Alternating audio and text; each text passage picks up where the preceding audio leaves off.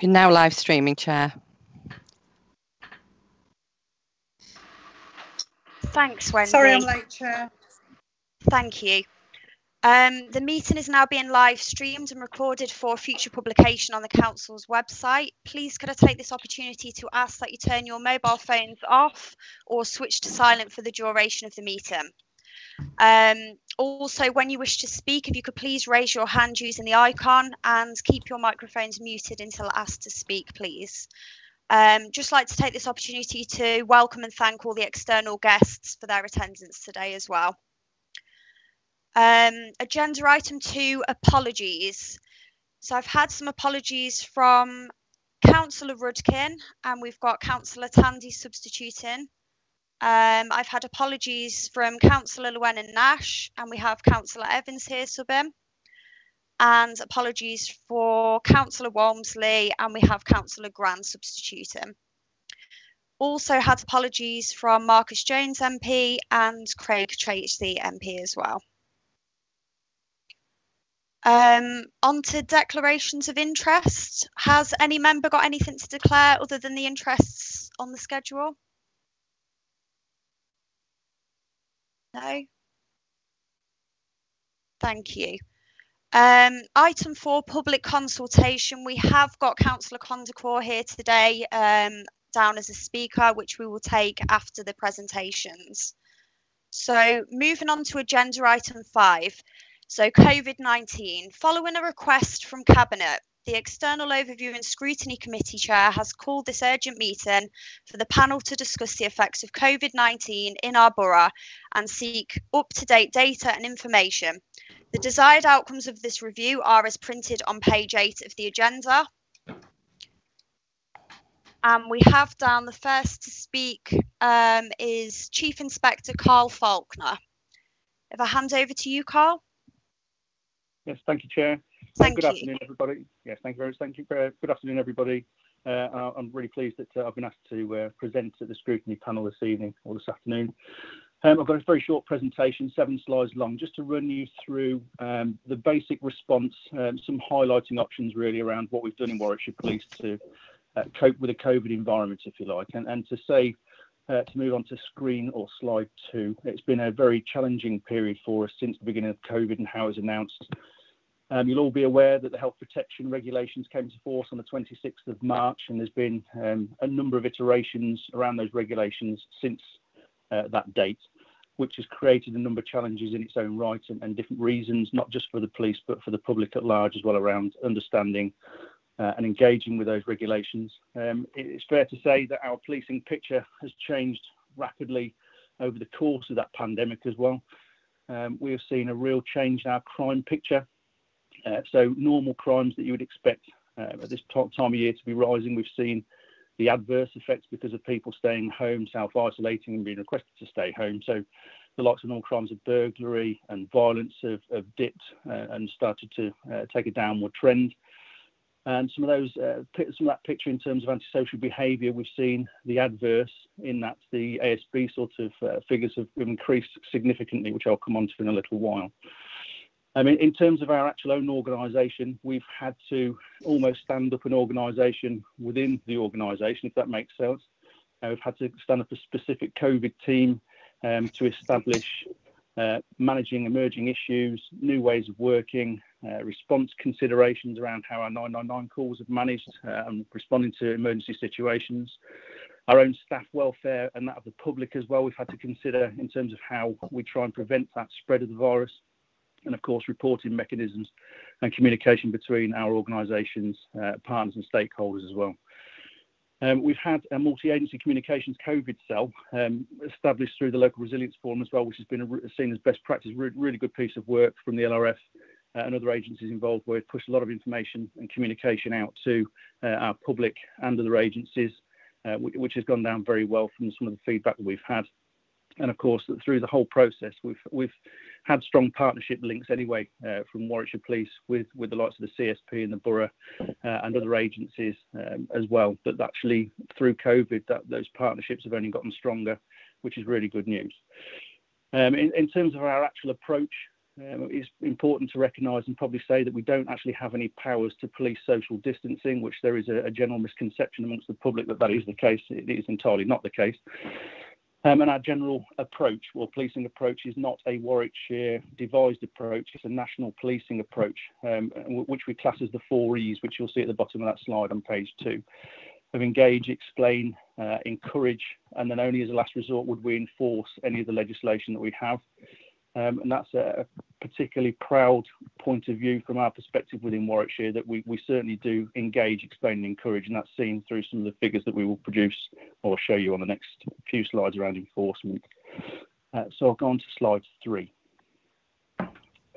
So, with that in mind, in terms of the uh, the crime figures in the ASB, uh, we have seen a significant reduction in main crimes that we would normally see. Uh, the concentration for us and where we've seen a lot of the pressure has been around antisocial behaviour. Uh, hence, this slide it will show you the figures uh, of, of, as a force for Warwickshire and uh, the Borough of Nuneaton and Bedworth um, around those ASB figures. So you can see on both tables we have non-COVID related ASB. Uh, they're the figures that you'll see for normal antisocial behaviour.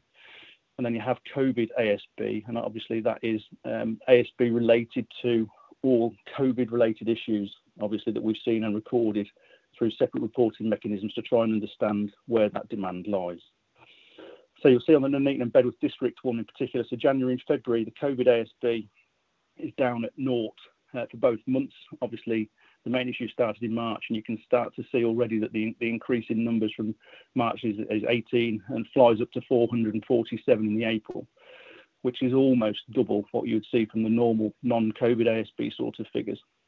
So you can very quickly imagine that we're managing this on a week by week basis.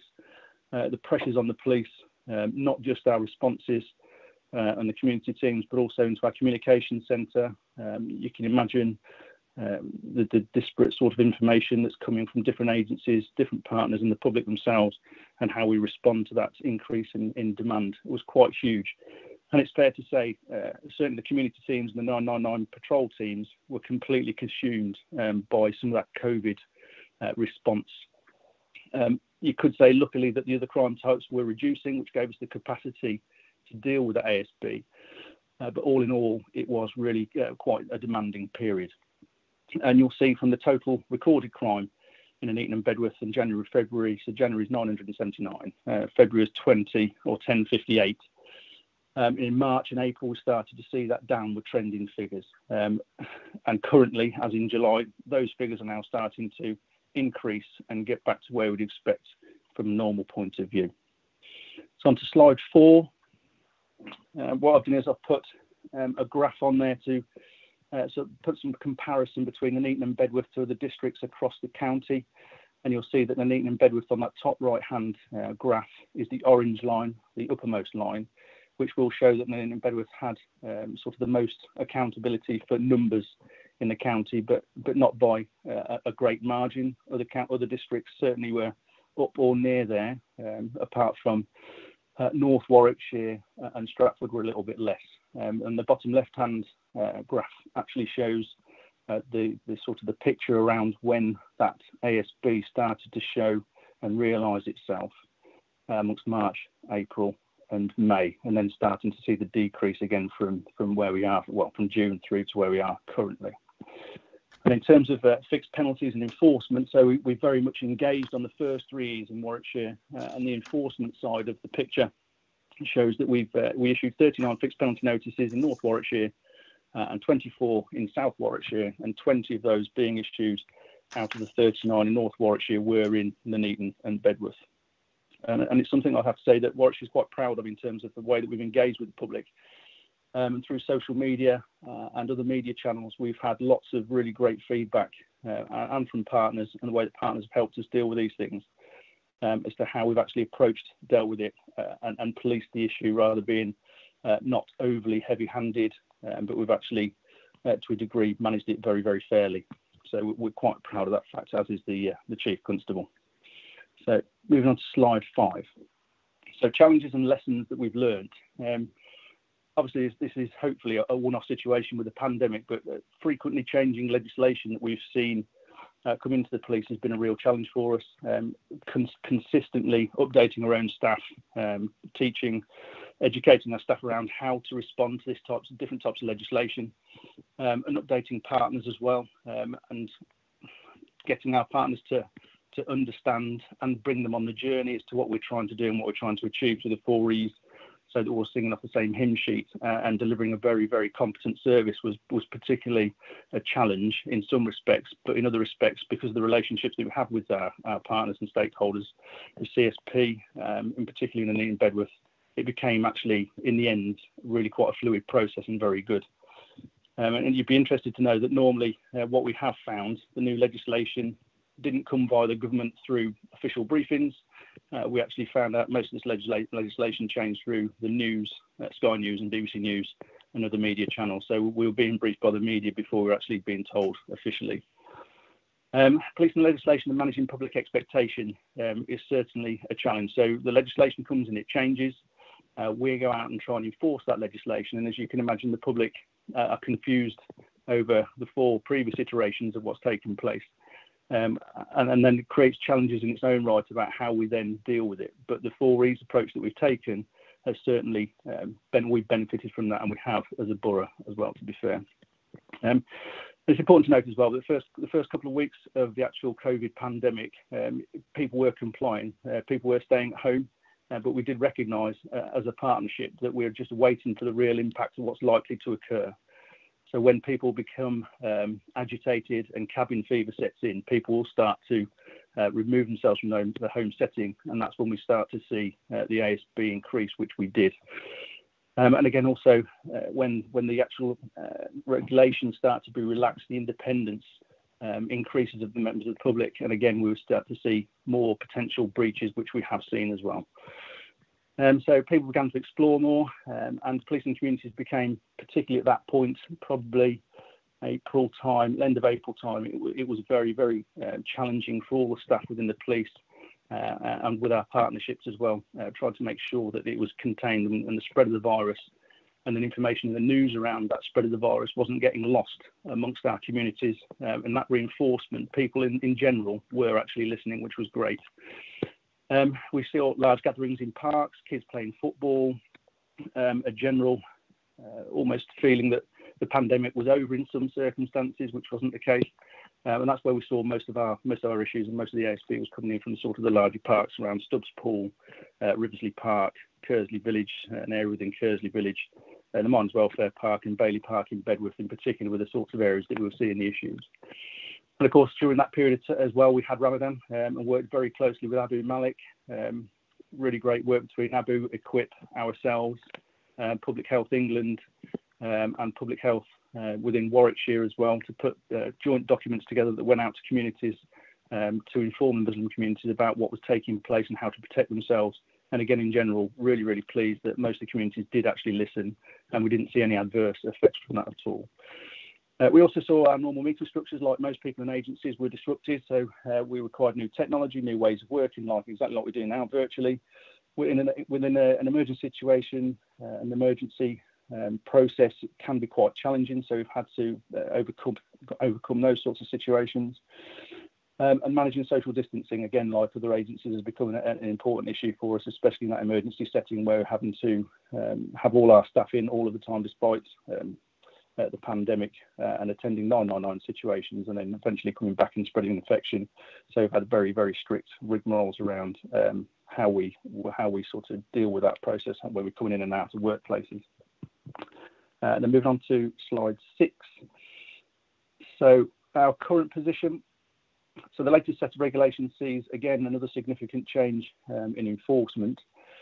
Um, so we're now in a situation where, as you're probably aware, that no persons may uh, participate in gatherings which consist of over 30 people, but there are exceptions to the rule. Um, our current position in terms of how we police is exactly the same four, four E's. So we engage, explain, encourage, and enforce.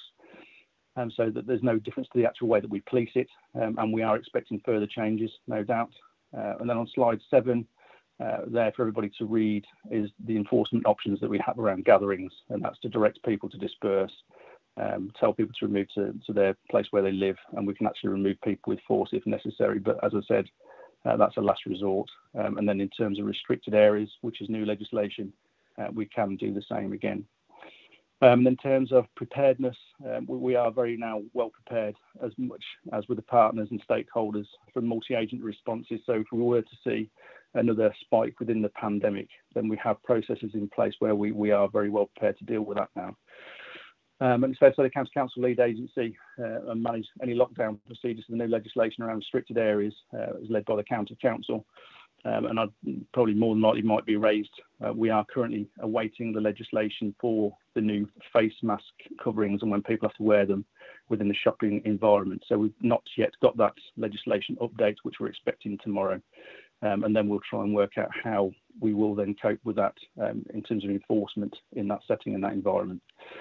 So all in all, that's a very, very brief overview how we've dealt with it within Warwickshire Police uh, amongst the partnership um, sort of role remit um, and environment. Um, it's been very positive, lots of lessons learned. But overall, the biggest positive is, the partnership working. Relationships have gotten stronger, and uh, it's altogether quite positive. And now that things are starting to return to normal, it's a case of making sure those really positive lessons are learned are carried on and those relationships continue. So, thank you very much.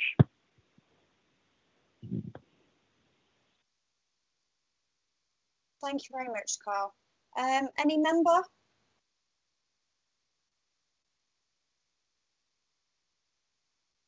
Councillor Hancox.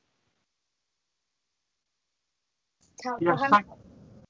yeah, it's just that slight delay, Chair. Uh, thank you, Chair. And just to start, can I put on record my thanks to the police and all the other agencies for the work they've had to uh, do during this period of time. Um, and thank the Chief Inspector for his report. And it is di direct about, you know, what we know about COVID and the, the police response. But I'd like to ask the Chief Inspector, and it may well cover other agencies, so they might want to cover it in their report.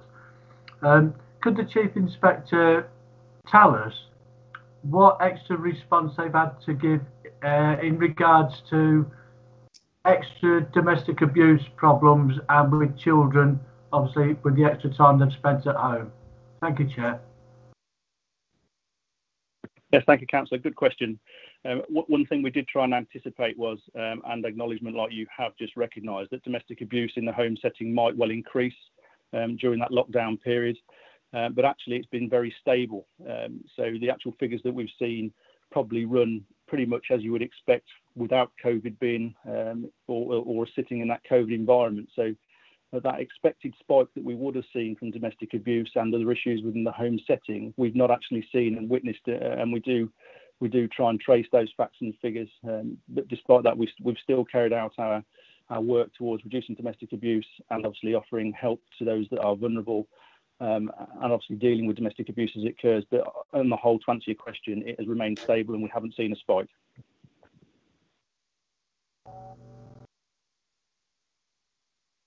Thank you. Councillor London, did you indicate? I did, Chair, uh, but Councillor Hancock asked the question before me. Okay, thank you. Councillor Evans. Uh, yes, uh, thank you, Chair. Um, uh, Chief Inspector, thank you very much for uh, coming in front of us this evening. It's much appreciated. Um, in in your um, statement, you made reference to uh, the new legislation, um, and obviously, as part of that, the police have been given the the powers to issue fixed penalty notices to those who um, offend and break the uh, new regulations. Um, I just wondered at what point do your um, constables on the ground and, and PCSO, PCSO, sorry, issue those fixed penalty notices? I.e., if you come across someone uh, who's um, uh, violated or breached the regulations, do you give that individual a chance and then if they if if a police officer comes across them repeating the offence is that when they issue the the penalty notice or do they just do it straight away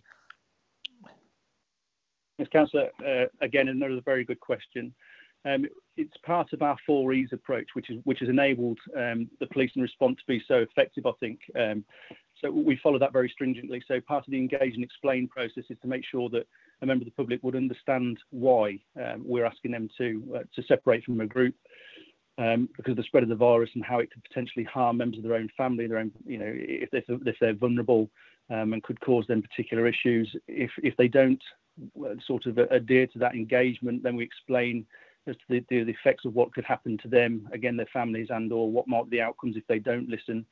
Um, after explanation, if we then encourage, we, we then go down the route of encourage them to, to leave. That encouragement is a little firmer. Um, and then if they don't listen um, and we feel it's a situation where uh, they, that enforcement is required and that's the only avenue that we've got in terms of them particularly listening, we will go down that enforcement route. So it's very much dealt with on a case by case basis. Uh, but also, like you pointed out, um, if it's a case we come across people that have repeatedly done that and they've been informed before, we will issue a fixed penalty notice. Uh, but within Warwickshire, what we have noticed through the four E's approach, it's definitely a case of, in the main, and the majority of the members of the public will listen to what we've said after explanation. Um, they do understand exactly where we're coming from and the risks to their own families, their own communities, and do abide by those rules. Um, and with the figures I gave you earlier around um, the, the, sort of low numbers that we've seen in Warwickshire, that, that certainly, certainly shows us apart from particularly other counties across the UK in terms of how we've managed to deal with it. Chair, can I just come back on that very briefly, if possible? Yes, Councillor, briefly. Yeah, um, yeah. Thank you, uh, Chief Inspector. Um, uh, and if if that's the case, I I'm happy with that. Um, however, is it possible for me to have a, a discussion with you outside the, this meeting? Uh, because I've contacted 101 on several occasions to report um, a breach in a specific location by the same people um, on behalf of my residents, and the police have continued to go out to uh, speak to these individuals, uh, and it's my understanding that they weren't issued with fixed penalty notices. Um, so it, I, have got the crime reference numbers and whatnot, but uh, if I could have a discussion with you outside this meeting about that specific circumstance, that would be great. And I know my member of parliament has also written to the chief constable about the issue as well. Yes, absolutely, councillor. That's not a problem at all. Uh, I'd be more than happy to discuss that with you to uh, to, to, see uh, what's actually happened and our response uh, from each of the circumstances that you described, so we can we can work through that. Thank you, councillor Golby. Thank you, Chair. Um, I just need to flag up um, issues that are local in the Arbury area. We've had significant problems with uh, antisocial behaviour, uh, drug taking, um, parties, you name it, on Ensor's, uh, Ensor's Pool. Now, we've had locals reporting issues, uh, much the same as, as Councillor Evans, and uh, not a lot has been done about it. It's, it, it, uh, I was quite disappointed to hear when you, you're talking about um, particular areas of concern that Ensor's Pool wasn't one of them because I know that I was telling lots of people, uh, I was bringing it to the attention of lots of people that there were serious issues on Ensor's. As soon as the sun came out, we had people over there doing God knows what with, uh, you know, at all hours of the day and night. There were complaints by residents constantly. Um, and they feel that nothing was really done about it. I know the local PCSO actually said at one point she could literally put a chair on Ensor's and sit there all day and be telling people to uh, to to basically stop breaking the rules, to get out of the pool. It's not for swimming. Uh, so I'm I'm a bit concerned that this hasn't filtered down into the reports that are being um, presented. And we also have an issue with 101 where residents were trying to phone through to 101 and they just couldn't get through. They, you know, no one's going to hang on the phone for 20, 25 minutes, apart from me. Um, uh, and that's another issue that maybe has skewed the reporting a little bit is that people just gave up trying to report issues. Um, I, I, know that I've I've had a lot of frustration um, uh, presented to me over the last few months from local residents. So, eh, um, would you have a view on on what went on with that particular area and why it's not showing up as, as an area of concern? Yes, thank you. It's, it's, probably remiss of me not to mention Ensor's Pool, but definitely on our radar. Um, certainly through Dave Williams and the team uh, within Nuneaton, there was, like you say, there were uh, a lot of information, or there was a lot of information coming through to us, and we are aware of it. Um, but it, again, it's it's a picture that is sort of mirrored across across the county, really, in terms of those sorts of areas that get a lot of activity. Um, I'm not defending the fact that um, we've had lots of information and there's been little, if that is the case, seen from members of the public and yourself and your constituents around um, police activity.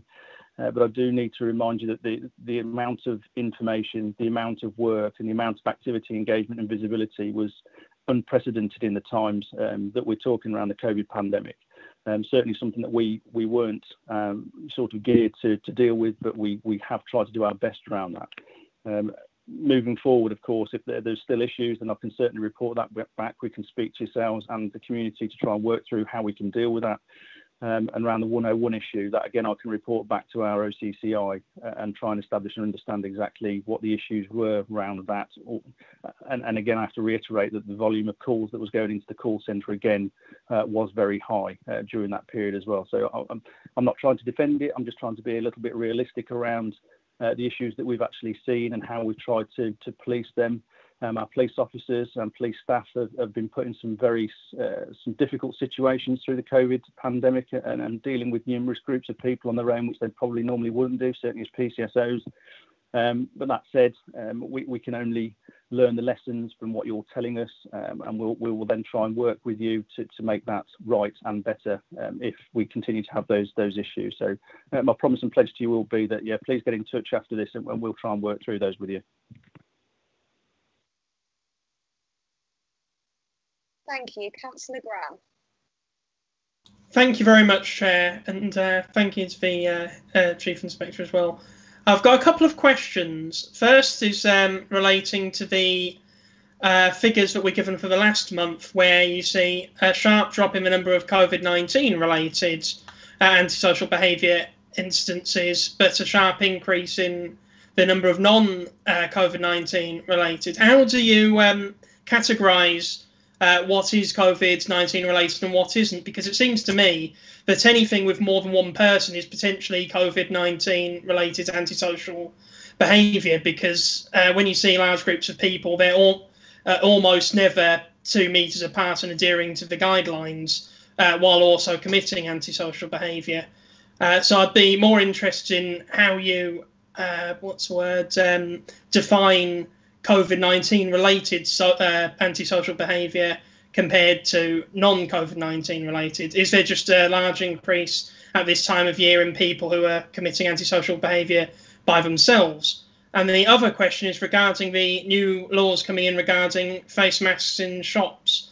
Uh, do you feel like you're prepared for this to come into play? Because I've noticed uh, a lot of people, even now, still aren't wearing face masks in shops. Uh, I think uh, maybe they need uh, people to tell them that it's explicitly illegal to not do so. But I would have thought common sense, with a law coming in soon to make that illegal, that it would probably be best practice not. Uh, it would probably be best practice to wear one in a shop. So I'd like to hear your thoughts on both of those matters and an explanation on uh, how you categorise antisocial behaviour.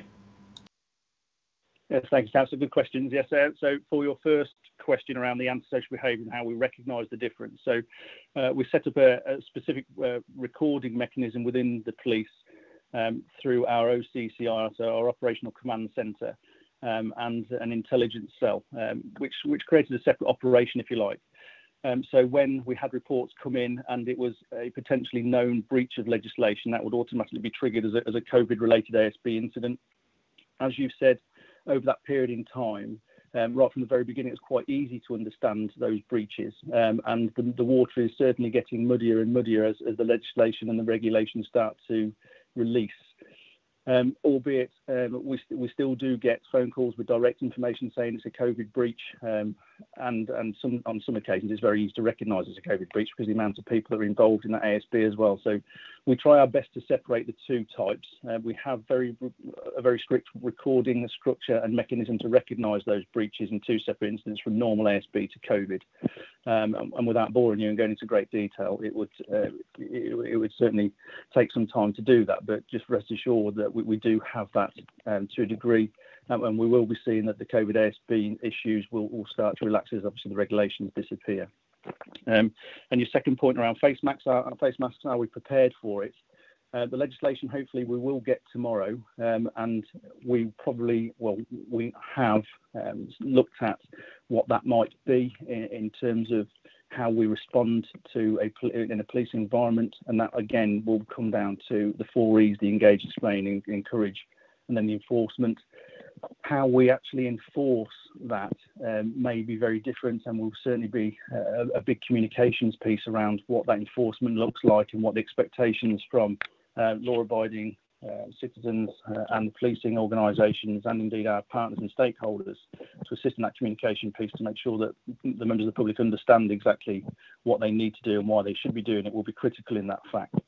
Uh, but also it's also incumbent on those those businesses um, and areas of leisure that, that will be accepting people in um, that they, they can have conditions of entry. So that there's lots of other things that other agencies, departments, businesses can actually assist in that process. So it's certainly not a one uh, one piece of um, legislation that just the police will be looking into. It's something that all uh, all areas of business uh, and partners and stakeholders can assist with. So what that actually looks like from a policing perspective at the minute, we're not entirely sure. Uh, we don't know what the demand will look like, albeit it, could be great, it might be minor. Um, but with a clever strategy around communications, I'm hoping that that, that will certainly assist um, and deflate some of that demand that we could be expecting. So, in short, it's difficult to understand what that looks like in terms of demand, but certainly the planning around that through uh, partner stakeholders and communication will alleviate some of those issues, I hope.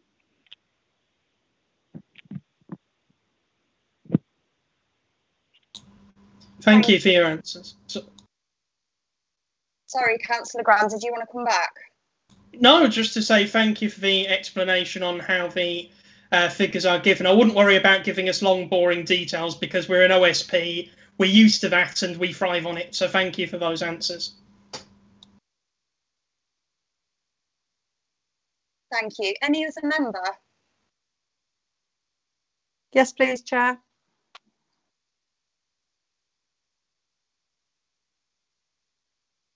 Think that's Councillor Shepherd. Sorry, Councillor Sargent. Thank you. Requesting to speak. Uh, yes, oh, I, I um, yes, please. Sorry, thank you, Chair.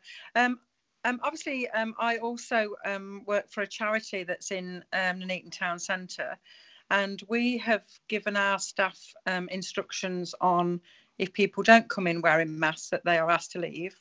However, we have a sanitising unit in front of all the charity stores that we have, and we're already getting abuse from people when we're asking them to use the sanitising unit. Obviously, I do not wish to put any staff at risk. So, what would your advice be if people come in without wearing a mask? Um, we do say that they have to wear a mask, but they refuse to leave. Thank you. Yeah, good question. Um, it, it's very much a case of if they're causing a, a, problem at the time and they're committing a crime, then you'd ring 999 for assistance from the police and we'd attend. Um, your local PCSO and your beat manager within the town centre uh, will be coming around to the businesses and speaking to everyone in turn to ensure that, that the support is there and hopefully they can see that the support is there from the police. Um, but all I can say at this stage is if, if you do see and have problems at the door at the time, uh, there are threats and real threats there uh, for staff, um, then ring the police and, and, we hopefully will attend uh, and come and assist um, for that process. Uh, if you need any advice around how to deal with that or, or, what to do in any particular circumstances, once we've had the legislation come through tomorrow, we should be in a better position to be able to, uh, to obviously advise and hopefully educate um, businesses uh, across the board uh, and partners and stakeholders alike as to what's the best process, best, best form of activity and action to take in those particular circumstances. So I know it's a bit of a non-answer at the minute, but unfortunately we don't actually know what what uh, that legislation looks like. So without knowing, we can't really give a defined answer. However, should you see problems or have threats to members of your staff yourself, then I would certainly re-ring a 999 and you will definitely get the support from the police. Uh, thank you for your answer. Thank you, Chair. Thank you. Um, I don't have any other member indicating to speak. Um, so on behalf of the committee, Carla, I'd just like to thank you very much for your attendance and your presentation this evening. Thank you. Thank you very much. So moving on to our next presentation, which is by David Eltringham, Managing Director of George Eliot Hospital. Over to you, David. Thank you, Councillor Shepherd. Um, if I may, I want to introduce two of my colleagues who are um, clinical leaders at the hospital and far better placed to talk through some of the um, detail of the experience that we've uh, had in managing COVID-19 um, at the hospital. So um, first of all, I'd like to introduce Daljit Athwal, who's our Director of Nursing and our Director responsible for infection prevention and control. Um, and secondly, I'd like to introduce Dr. Catherine Free, who's our medical director and also happens to be a respiratory physician, so is extremely knowledgeable um, in the field of uh, of COVID-19, or as knowledgeable as anyone can be in the field of COVID-19. Um, Catherine's going to lead us through the presentation, and then collectively we'll um, pick up any questions that members might have at the end of the slide deck. Okay, thank you, David. Um, so I'm just going to run through um, some of the challenges we experienced at the start of the COVID pandemic um, and how we prepared for the pandemic, some of the challenges we've, we've experienced since, and then wrap up really with the learning. Um, and you're going to hear about our um, staff on a number of occasions through this. I'm hoping that slide will change yet. Uh, and really, I just want to start, and we will end by paying testament to our staff who have done a fantastic, um, a fantastic job caring for patients. But I want to mention not only the frontline staff you think of of doctors and nurses, but people like domestics, ward hostesses, our procurement team. The list is endless. Anybody who worked for us in the hospital played a huge role uh, in looking after patients and continues to do so today. So I think if I could take you back to um, February and the beginning of March, uh, you will recall the pictures that we were seeing coming out of Italy at that time. Um, and as an NHS, we were not quite sure what uh, we were going to face, but it was clear that we needed a lot of intensive care beds as a, as a nation uh, and we needed to provide a higher level of care for patients than we would usually be doing. Uh, at George Eliot, we have eight intensive care beds normally. Uh, we made plans to increase that number by fourfold. Um, we didn't have the staff to look after all of those people, so we retrained staff into critical care roles. Our theatre staff volunteered, and our learning and development team with the critical care team did a great job at supporting that. And we also trained surgeons to look after uh, medical patients. So people were very flexible in the roles that they were undertaking. Um, you will recall um, PPE was a big thing. Uh, again, I want to pay tribute to our procurement team because although there were a few hairy moments, George Eliot was really in a great position in terms of PPE and able to provide PPE mutual aid support to care homes, our partners in primary care, um, other organisations because of the really great work um, the procurement team in conjunction with the nursing team. Um, in order to prepare for the activity we were going to see and expecting and did see, um, we um, followed national guidance on suspending routine operations and because of the uh, risk of infection, um, in, also in line with national guidance, we closed the hospital to visitors, which um, I think Daljit may go on to speak about some of the challenges that provided for patients, for families, and also for staff. Um, and one of the really great things was the way that we've worked together with local partners. So um, one of the thing areas we saw was a real uh, commitment to work together to safely discharge uh, patients faster who no longer needed to remain in hospital, and that was some great work with primary care colleagues. And of course, we took down all of the non-essential business and the meetings that fill our day normally, but seemed less important in the middle of a pandemic. Um, we had quite a good start in terms of our pandemic flu plan to help us to know where to go with making some of these plans. But one of the things that no organisation really was aware of at the beginning was how much oxygen these patients were going to need. And um, one of the challenges was about having a high number of patients with a high oxygen requirement in the trust. We work closely with British um, uh, British Oxygen Company, um, and again um, managed all the risks around that, but certainly a different way of working and uh, twice daily deliveries of oxygen to the site. And then the way we did things changed. So instead of patients being able to come up to the hospital, overnight we moved from face to face consultations to virtual consultations. Uh, and really, that's something that we will continue to do for many patients.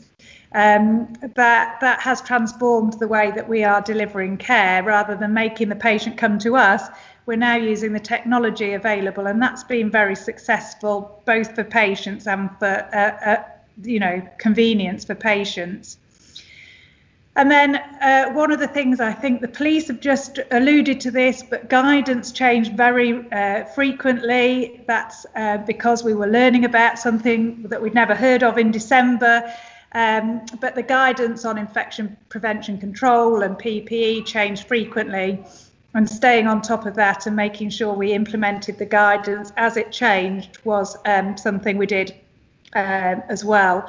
And then, of course, the testing around which patients we could test and whether we should be testing staff also changed. And we made sure that we complied with each change as and when it came about. And just to give you an idea of the timeline, our first patient was diagnosed in the trust on the 7th of March. Sadly, we had our first death on the 11th of March.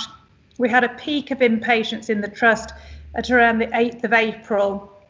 And then we had a second peak of inpatients uh, on the 5th of June. And I'll just go on to talk a little bit about that because that's probably uh, one of our more recent challenges. So uh, in June, we saw a high number of cases in the hospital, and that was due to a mixture of an increase in community acquired cases and also some cases that we believe were acquired in hospital. And I'm going to hand over to Daljit now to just lead us through some of the learning that we got from that and how we've changed practice uh, as a result. Um, thank you very much, um, Catherine, and evening to colleagues. Um, but thank you for inviting us and just giving you some insight into what's been happening inside George Eliot Hospital. So, as Catherine's described, we were um, we've been living in a very challenging environment. It's been con- quite complex. Um, lots of different guidance coming out and lots of very difficult um, decisions to make. Um, has Catherine's also stated that in the um, end of May and the, and the beginning of June, we started to recognise that we had increased incidence of hospital acquired infections, and we very quickly put together a very comprehensive plan to tackle some of the issues that we were recognising. And I'm I'm pleased to say that this plan has resulted in that we have in the in less than three weeks we have managed to get on top of some of the challenges that we had and and are in a very positive place at the moment so before i go into um, what's on the slide around some of the key lessons we learned i'd just like to give um, colleagues some um, context of, of what the issues were that we identified that had caused some of this, that were um, associated with the um, increase of um, numbers in the community. And, and naturally, we started to see those numbers come into our hospitals. So many of you will know about George Eliot Hospital, and, and you will know that it's a small hospital and that our side rooms uh, are lacking in numbers. So that was one of the challenges that we've had to face throughout of the throughout the pandemic. And um, as we've had increased patients come in, that's made it very difficult for us to um, have enough rooms where we could quickly isolate people.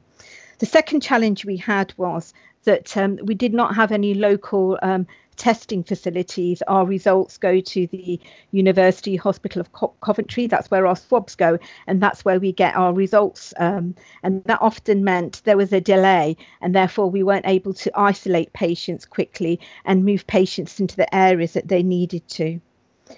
In addition to that, we identified that we were we were moving patients quite a bit to try and keep on top of ensuring that you know we were minimising opportunities for cross infection, and and in doing that, um, I think we had caused some challenges for ourselves. The other thing I think it's really worth highlighting is that um, actually um, diagnosing um, COVID is quite complex Many of you will know you can get a result which is negative, but may not mean that that patient has not got COVID.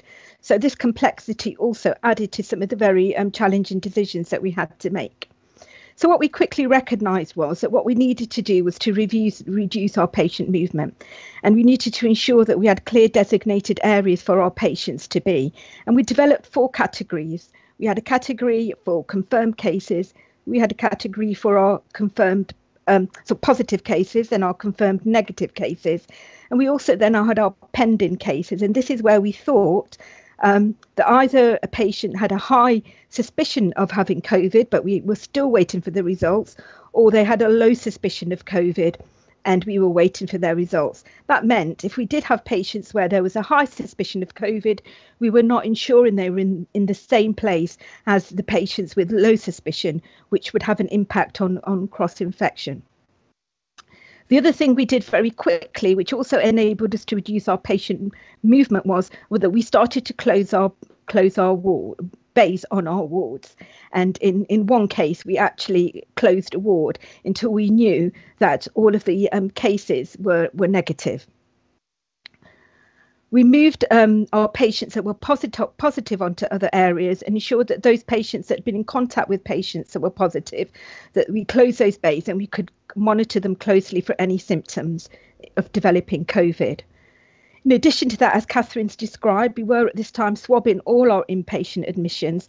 And what we managed to do, which is um, supported in our in our testing and tracing, was um, university hospitals, um, Coventry and Warwickshire, agreed to prioritise our results so that we got a faster turnaround and we were getting our results back within two hours, enabling us to timely um, move patients to the right areas.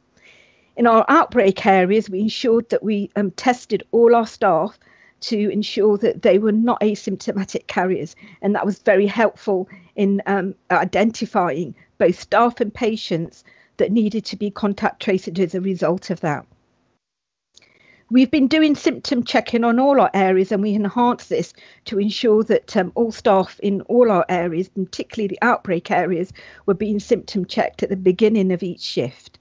In addition to that, we have just nearly completed a more hospital wide um, schedule of um, surveillance and screening of staff that are patient safe in, facing. Next slide, please, Catherine. Okay, so I think it's fair to say that uh, when we when we went into the pandemic, there was a level of uncertainty, and and I'm I'm happy to say that we've come through this with um, some knowledge and some skills and a better understanding of what we need to do. We recognise though that you know with winter upon us, we will have additional challenges as COVID has not gone away, and we expect to still see um, numbers of COVID patients coming into our organisation. So we're already planning what we're going to do to ensure that we can minimise any impacts of COVID patients um, of cross infections across the organisation. And in relation to that, what we've been able to do is to um, secure two new 15 bedded wards in a, modu- in a modern modular ward which uh, w- which will be opening in um, September. So we're pleased to say that so far that is to plan, and so we will have additional beds to take us through the um, capacity issues that we may have during the winter period. Alongside this, we're actually pursuing some funding for some new operating theatres alongside these new wards. So we're very positive about that, and we've started to do our staff recruitment for those areas as well. In addition to that, we've just being finalised at the moment with our clinicians, we are starting to look at separating our areas for COVID and non COVID and ensure that we can maintain these throughout the months that are coming and over the winter period as well. And we've got escalation plans to kick in depending on the number of COVID 19 cases. So, what that means is that we will be able to flex our capacity and our workload pending the number of patients that we get with COVID so we can continue to deliver emergency and elective care. Catherine, over to you. Okay, so just to sort of finish off with some of the learning that we've had. Um, so uh, we've already alluded to uh, the things that we'll keep going with after COVID. COVID has changed the way the NHS works nationally um, and the things that we're experiencing and what other people are experiencing. But I think locally, I think we can be proud of the working we've had with primary care, the support to care homes, um, and the relationships have been strengthened through a period of uncertainty, which will be of benefit to patients. Now we've formed those closer understanding and, and working relationships. Uh, as I say, we've improved our discharge procedures, and that is continuing, um, even though we're moving to an area now where the number of cases has fallen very significantly. Um, and the virtual consultations, we will continue to run those where appropriate. We are starting or have always been able to see people face to face where that's been needed, but increasing um, appointments now. Um, so, uh, but certainly the legacy of virtual consultations will remain both in, in hospital but also in GP practices. Um, We've, as Daljit alluded to, it's a complex disease. You know, we can have people who are asymptomatic, don't show any signs of COVID, wandering around fit as a fiddle, through to sadly young patients dying of the disease. We have a test that is accurate most of the time, but in up to 30% of cases could give you a false positive test. So it a false negative test, I mean, so reassure you that someone hasn't got the disease when in fact they have. And so we're learning more about the disease all the time. Getting back to normal and restarting activity is a lot harder than stopping it was. And what I'd really like to say to you all now is we need help to encourage patients that our hospital is safe to return to. Other diseases like cancer have not gone away, and we're seeing that patient behaviour has changed. People are deferring appointments, saying, I'll come back after this COVID has gone. And, you know, realistically, COVID may be with us for many months or years to come. And we need to make sure that the hospital is providing care for people, whatever the condition is that they have. Uh, and we've done a lot of work to make sure that our pathways are safe so that people can come back with confidence. Um, and I really want to encourage people that if you need hospital care, it is there for you.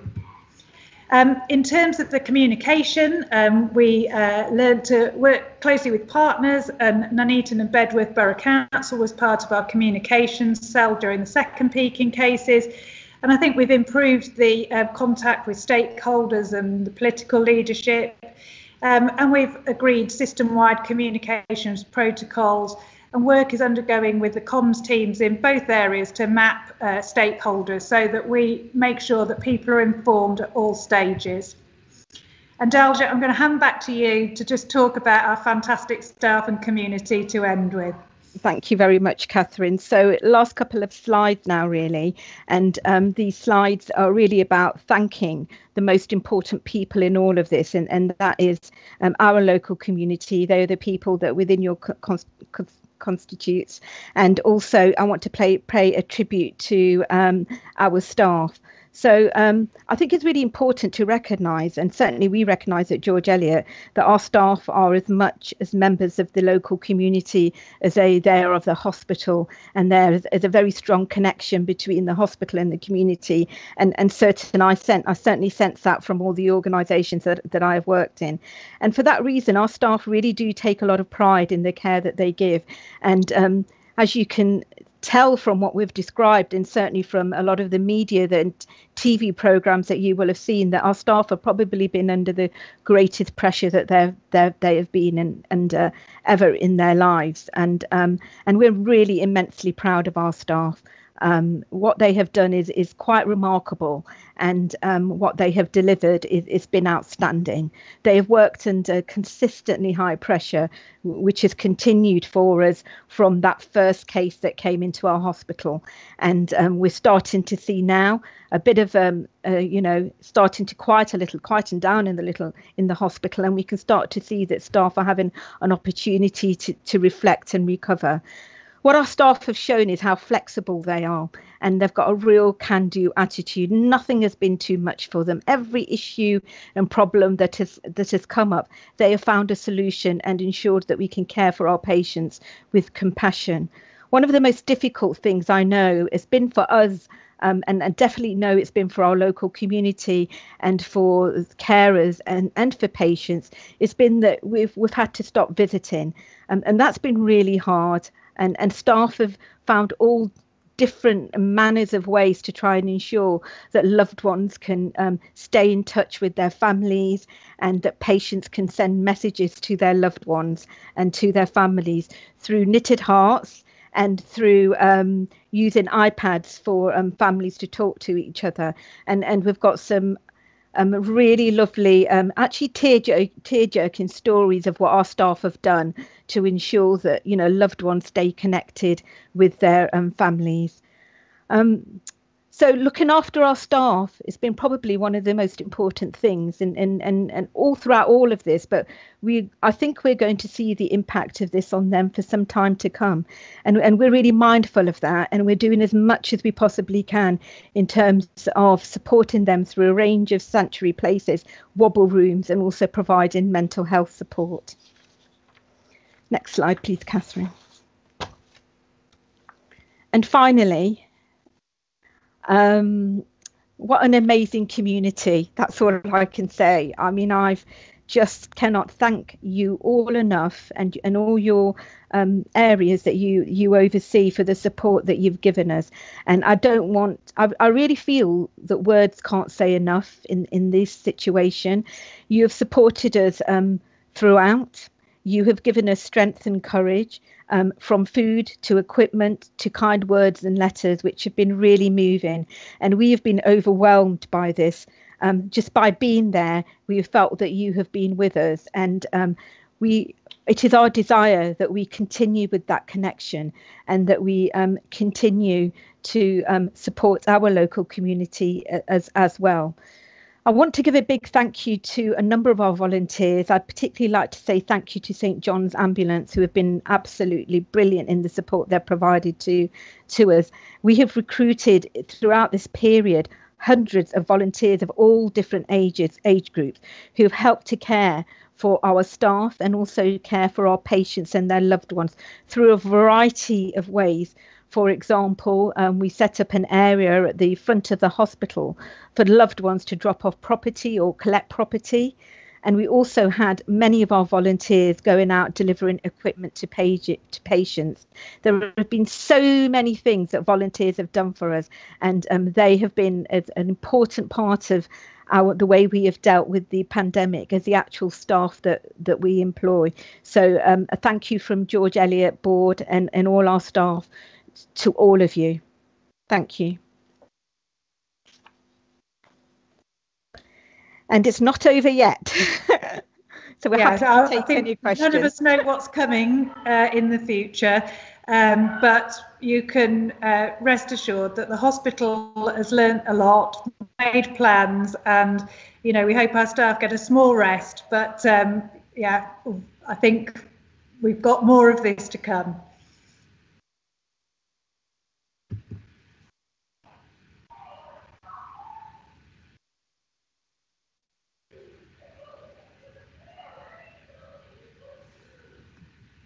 Happy to take any questions. Questions, yes.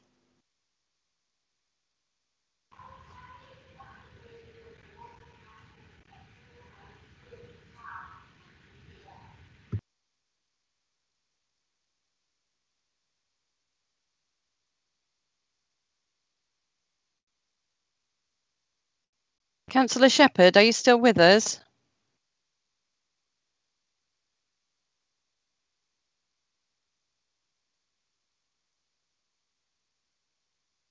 Hello, can everybody hear me?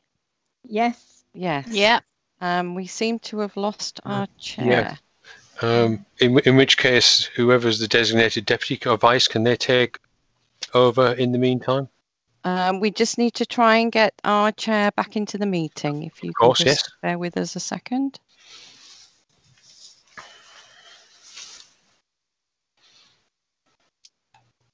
Wendy, can you hear me? Yes, I can hear you, Chair. Are you back with us? I am, yeah. Sorry, I'm having some technical difficulties this evening. um, I've got Councillor Golby down to speak first. Thanks, Chair. Thank Um, you. Sorry, I'm not sure I should have, I don't know if I needed to declare this at the beginning of the meeting, but I did miss the beginning of the meeting. So um, I actually did some volunteering over the um, lockdown period at the George Eliot. So um, I don't, you know, just to get that on the table. Thank you very much. that's right. Um, so yeah, good news about the ward.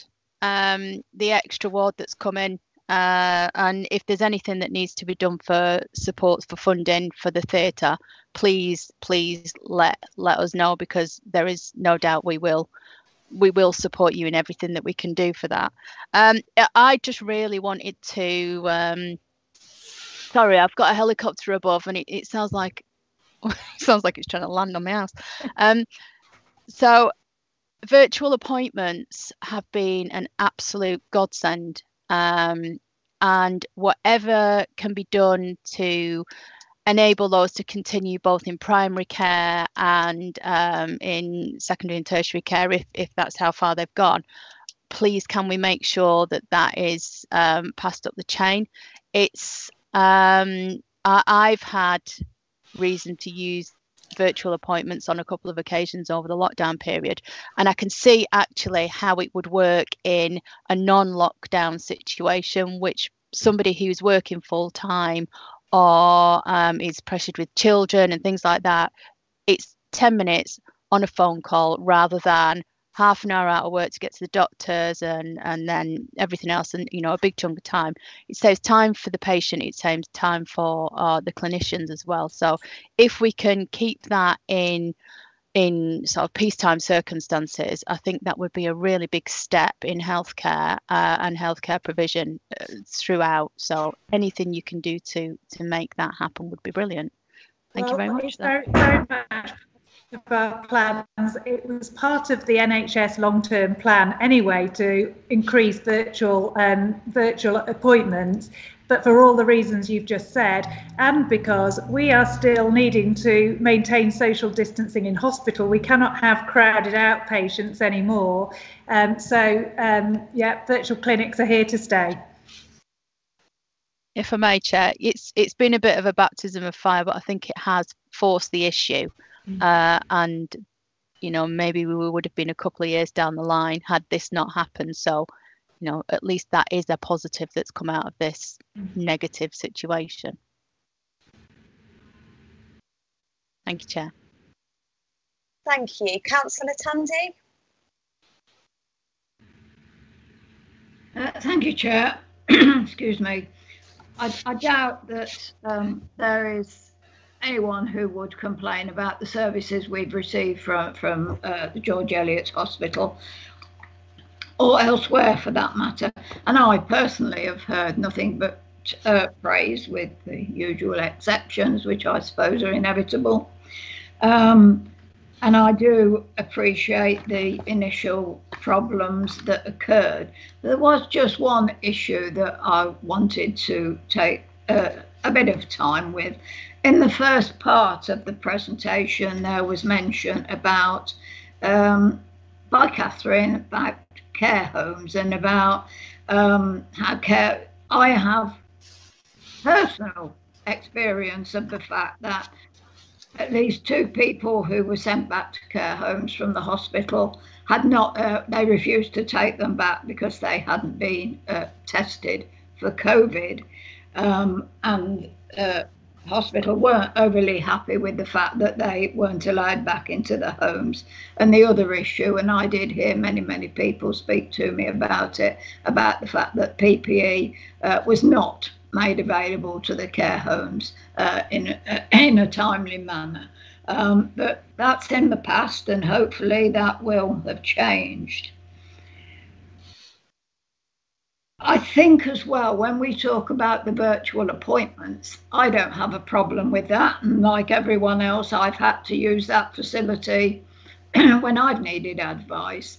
But I think a question would be for me um, is there may have been referrals from GPs through to the hospitals in relation to perhaps surgical procedures that have been uh, needed, where I, I absolutely understand the situation with social distancing, But, you know, uh, I'd really like to know if there is any possibility of people who are in need of surgical procedures, perhaps even minor ones, if there is any opportunity for any of those referrals to uh, to start happening, you know, because it even those minor surgical referrals are causing problems for several people.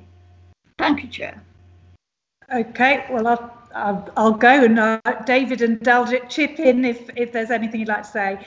I think in relation to the first point about care homes, it is certainly true that our experience of getting PPE in the initial stages of that was pretty difficult, and that was as a hospital trust. And I think individual care homes were having a much harder job than hospitals.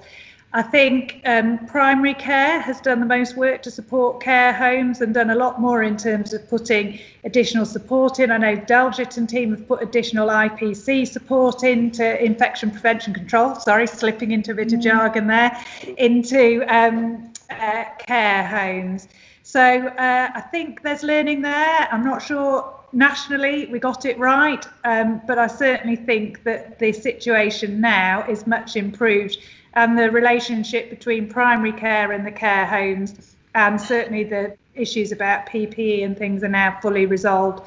And I think the strengthened um, input from nurses like Daljit, who leads for us as an expert on infection and prevention control, to those care homes, it leaves them in a much stronger position now than they were at the start of this. In terms of the question about face to face versus uh, virtual, you can't replace everything with virtual clinics. You can't look in the back of somebody's eye or feel a stomach or those sorts of things. So we are have always throughout this been able to see people who need to be seen. What I would say to people is at the moment, the way that we're standing our work back up again is that we are prioritising cancer patients, urgent patients, and then patients who've been waiting a long time for things. So the routine procedures will be some of the last things that we're able to get back up. Now, some things that's not a problem for. So some of our medical specialities will be able to get back to 100% of their work. But for some of our things like a hip operation or a knee operation, that's going to take longer whilst we make sure that we've got space to see everybody with a cancer diagnosis who needs it as soon as possible. Um, thank you, Catherine. I, I um, just want to add, um, thank you, Councillor Tandy, for your question about nursing homes. But just to provide you assurance that we have a very positive relationship at George Eliot with our nursing homes, our infection control team, or even before COVID, involved them in our um, link trainers um, updates and they come along to our, our training sessions and um, we also took a um, positive position um, that um, and and this still happens now that when patients are being discharged to nursing homes, we will provide um, additional PPE for a few days if that enables the nursing for the for the care home to look after those patients.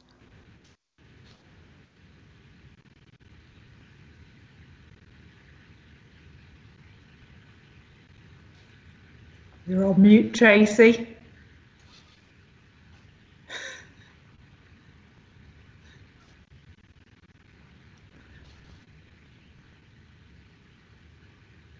Councillor Brown? Th th thank, thank you, Chair. Uh, I'd just like to start by um, offering my personal thanks um, to everybody at the George Eliot Trust and in the care sector for the brilliant work that you've done and the uh, amazing flexibility and uh, the, the way you've adapted to this this crisis, which, as, as, has been said many times, is unprecedented and it's an evolving situation.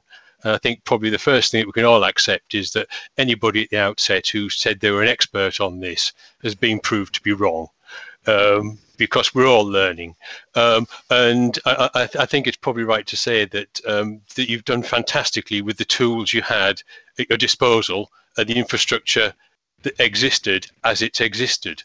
Um, you know, clearly we could not manage a crisis like this by managing it on the basis of an infrastructure we would have liked to have had. We had to deal with the tools that, that we actually had. And um, I'd like to thank you for involving the care, care sector uh, by providing PPE you know, when it became necessary to do so, even though you know the your, your procurement people were not really responsible for procuring PPE for care homes. Um, it wasn't part of your job, so I that's a, a, absolutely fantastic. What, what um, I'd also like to add uh, the virtual appointments. Yeah, fantastic as far as they go, and I'm pleased to hear about that and the new wards. Um, one thing I'd just quite like to say, we obviously the, the, the hospital takes in patients from a, a, wider region than just the Nuneaton and Bedworth area, and the, the, the treatment the patients from the Nuneaton and Bedworth received, there was no different protocols or no different type of treatment for people from the Nuneaton and Bedworth to the other patients, was there? All our patients got treated the same. Yeah, uh, it, it's just that obviously we, we're going to come into a point where we're looking at rates of infection and cases uh, uh, as compared to other places. So uh, it's it's the, the the rate and things like that and the outcomes are not the the, the um, down to the procedures within the hospital. They're from outside factors. Yeah, that that's correct. So one approach to dealing with any patient who needed to come to the George Eliot Hospital. Yeah, it's, it's just uh, uh, I want to establish this because there's been some comments on social media and things that Nuneaton Bedworth has been treated differently or that PP no. wasn't available and things like that. And I think it's important that we get that message out there that the procedures were the same. They were, and I can and I can provide you assurance that the the hospital always had adequate supplies of PPE, and there was not one day where the hospital did not have enough PPE or had to reach out to any other organisation for that. Th- th- th- thank, thank you very much. Uh, I may come back with other questions as I think of them, but that's wonderful. Thank you for the, the help and, and thank you for your ongoing support throughout the community. No problem. Thank you. Councillor Duffin. Hi there. Um, first of all, um, I also want to place on record my uh, personal thanks um, to everything you've been doing at the George Eliot Hospital.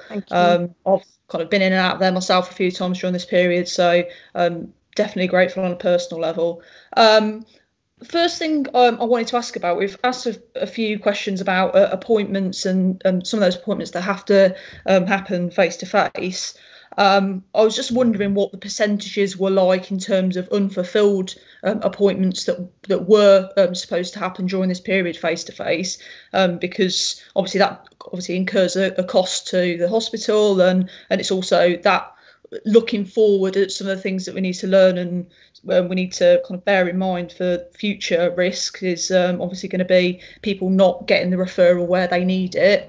Um, so it's probably useful for us to know um, a percentage if we if we've got one about um, un, unfulfilled appointments and people not turning up to um, appointments because they don't feel confident enough to do so. Um, just another kind of observational um, point, as much as much as it is a question. Um, during um, May in particular, it seemed that doctors' surgeries were doing temperature checks and kind of enforcing use of masks and and and that process, whereas at that kind of same time, um, the George Eliot Hospital, um, they weren't doing those temperature checks and um, it, kind of forcing people to wear masks. And I was just wondering um, at what point did that line up between doctors' surgeries and the hospital? Um, because I know that a couple of weeks later into June, that was happening at George Eliot. So I was just wondering um, where um, that decision making came from and um, and what was the best practice on that and why was that decision made when it was? I'm happy to to answer that in terms of ppe so our our staff um, so the first thing we, we've always done, both Catherine and myself, is is um, been very vigilant about the national guidance around what we need to do, um, bearing in mind that that that has con- that has constantly changed. So everything that we've done and implemented has been exactly with the timescales nationally that are required. Uh, sometimes we've had to make additional um, decisions based on our own care environment, but that's largely what we have followed. So from the outset of um, of COVID, all our staff were wearing PPE on the wards, depending on the on the kind of ward that they were working in. And then laterally, I think sometime probably in June was when the government guidance um, came out that um, so these were in clinical areas so every ward area um, depending on the type of patient they were looking at would have to wear a certain type of ppe and all, all our staff were provided with that and were wearing wearing that um, I think probably um, June time, the national guidance came out, and, and Catherine can correct me, that there was an expectation that in all clinical areas, that included corridors and um, offices, staff should be wearing PPE, um, particularly if they can't social distance, which might be if you've visited the hospital more recently, you will see um, staff wearing masks everywhere. But I can assure you that um, our staff were wearing PPE when they were looking after patients in line with national guidance. It was more, sorry, it was more yeah. a point about um, patients going in. So, um, in terms of doctor surgeries, I mean, patients going in and yeah. uh, being given face yeah. masks, and then uh, the same experience at the hospital. And it just it seemed strange to me that in a doctor's surgery, it seemed to be a bit fortified, and you had to kind of do temperature checks and wear a mask to even get in entry. Whereas at the same time, um, at the hospital, um, patients were able to kind of walk into their appointments with no checks and no masks on at all. And that seemed to be a bit of a discrepancy. I, I just wondered where that came from and if it was to do with um, guidance that you're getting differently for hospitals to doctor surgeries, basically. Yeah. So, uh, go on, Catherine, were you going to well, say? Well, I was just going to say that actually the national guidance only applies to hospitals. I don't think it actually applies to primary care settings. So they were acting ahead of the guidance change, I think. And yeah. I see in the papers today that the BMA are calling for the same guidance to be applied to all GP surgeries as well. So um, we, we changed our guidance in line with the policy, although where people were being seen face to face, there should have been things like oh, symptom yeah. checks in order to make sure that and obviously we've been quite clear please do not visit the hospital we haven't had any visiting but for people attending for appointments don't come if you're not well, um, and, and yeah. that continues to remain the case. Yeah, and and and, I, and and just just going to add to that that you know we had obviously um, stopped visiting except on on compassionate grounds, and and where we did um, facilitate that visiting. We had very clear guidance about what PPE visitors were required to wear, uh, depending on which area they were visiting. If I can answer your other question about um, um, waiting lists or missed appointments. I can't give you an exact figure because it varies quite a lot between the different specialties depending on how urgent the specialty is compared to how much routine care they deliver. But if I could give you the example of um, a condition called colonoscopy, which is a telescope test to examine the bowel, there's a lot of patients at the moment saying, well, I, I, I won't come for this test at the moment, maybe because it's not a pleasant test to have, but people saying, well, I'll wait till COVID's over we're asking patients before they come in for some of these tests and particularly before operations to self isolate for a period at home and then be tested to make sure they haven't got COVID before they come into hospital. And I think for some people who now have a sense of freedom, being asked to stay at home when they want to be in the shops um, is a, is a limitation for patients. Now, the guidance nationally is that keep patients safe before we do things to them that might make them less well, that that's important. Nationally, that guidance may change as the amount of COVID in the community drops. But again, that's why it's important to encourage people if you need hospital care, please talk to us about the importance of that test um, because we really want to make sure that patients are not missing out on tests that may diagnose important conditions. Thank you for that. Thank you. And we've got Councillor Longden. Thank you, Chair.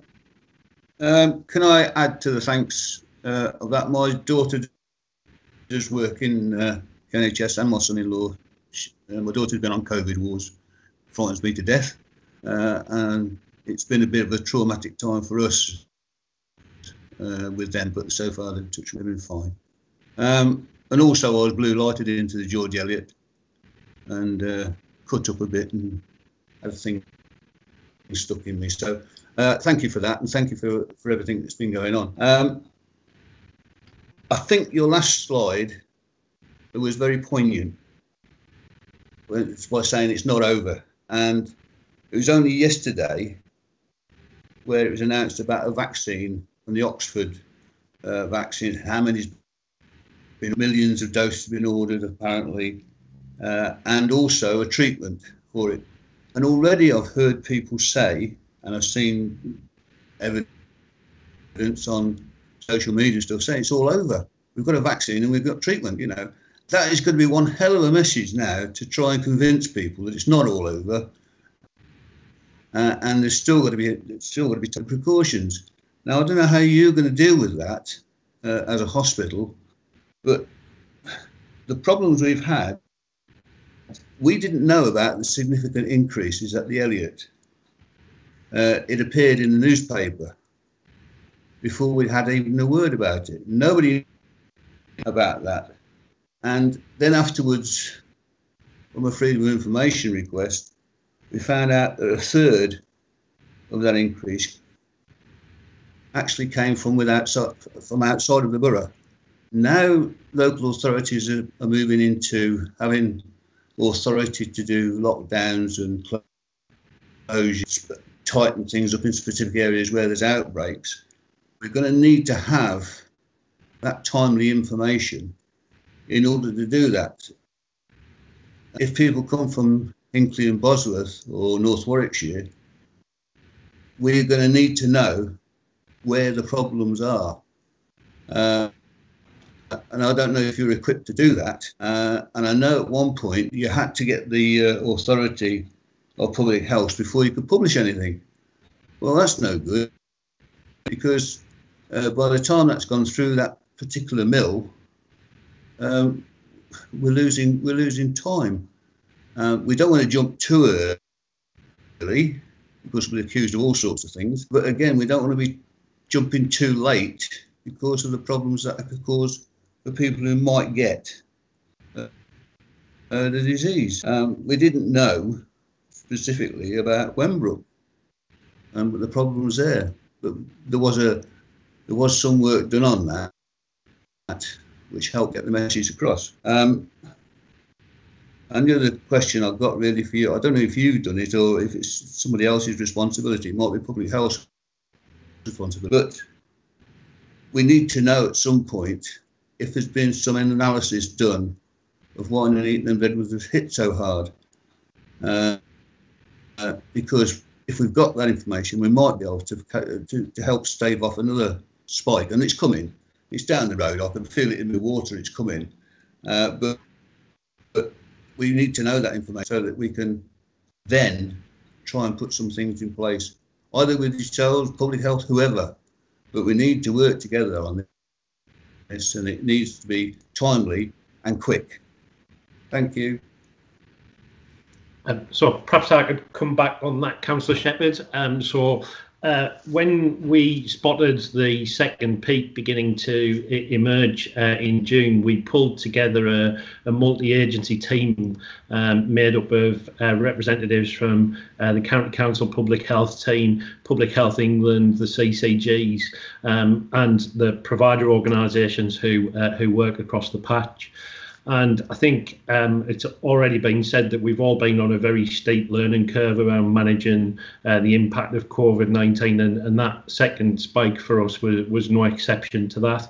And I think what we've learned um, in terms of being able to access data and information, being able to analyse that using the expertise that exists in Public Health England and in the public health teams um, locally has been um, invaluable. And uh, we've been writing up our experiences, and um, um, and, and, Nadia are going to speak in a moment um, from a, a, county council uh, public health perspective. And I'm not sure if there's anyone on the um, on the call from Public Health England, but but the probably one of the principal um, pieces of learning that we take away from this experience is how we use that information, how we analyse it, how we communicate it, and how we use what it tells us to warn and inform uh, the public, to brief um, people like yourselves. Um, the, lots of learning that's come out of that experience um, uh, from uh, from that perspective. So I think um, from what we've gone through, pro- probably amongst the first um, in, in, the region to experience an outbreak uh, as we have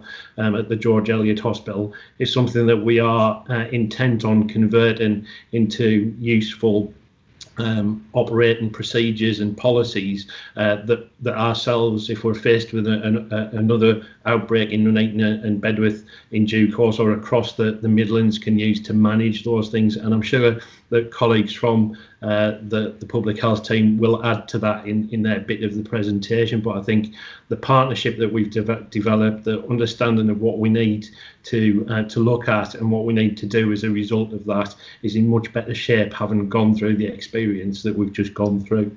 I don't know whether Catherine or Daljit would want to add to that.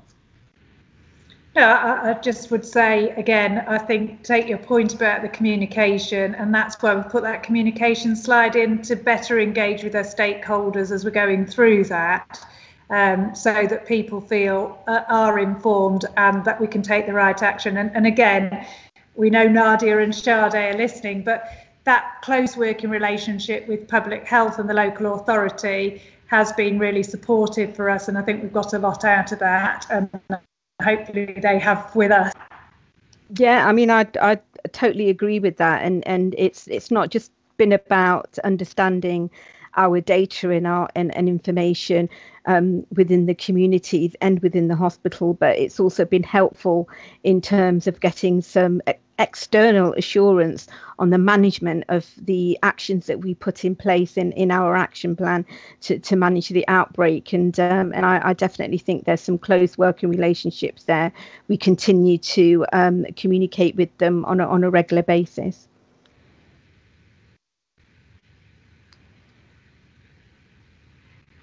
Thank you. Is there any other member that wishes to speak that hasn't already? No. Councillor Longden, you've indicated again? Yes, please, Chair. It's just about what was just said.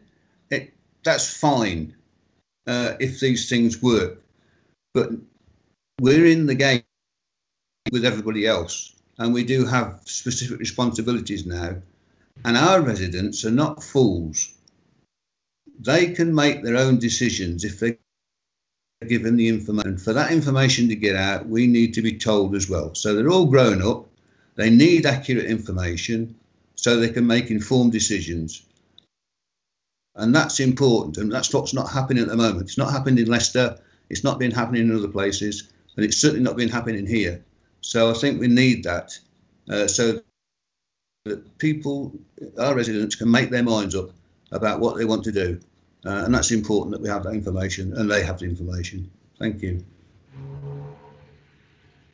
I'll shut up now.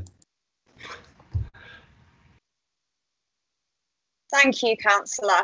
Um, I'd just like to place on record the committee's thanks and appreciation for all of the hard work that's gone in at George Eliot, um, and also just for taking the time to come come this evening and attend. And thank you for your presentation. Thank you. It's a pleasure. Thank you. Uh, sorry, Chair. We do have um, a public speaker, and he's now indicated uh, if he requested to speak. My apologies. I thought Councillor Kondakor was going to come in at the end. Um, Councillor Kondakor? Thank you very much, Chair. This is actually the item I wanted to speak on. Um, obviously, it's marvellous all the improvements we've had at the George Eliot Hospital um, in June.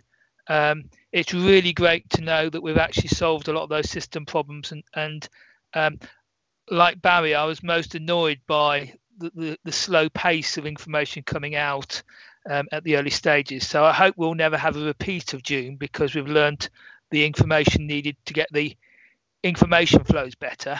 I think it's useful to put some information into context as well.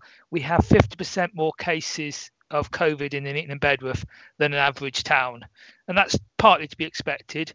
And we also had the infection quite late, so um, we didn't have lots of people coming in on ski trips, etc. So Nuneaton and Bedworth had a later profile for COVID, uh, and this second wave in June was really disappointing.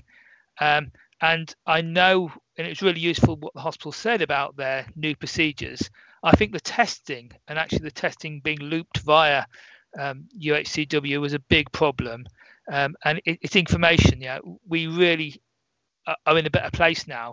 but we should have actually had the alarm bells ringing and a lot of these changes happening earlier.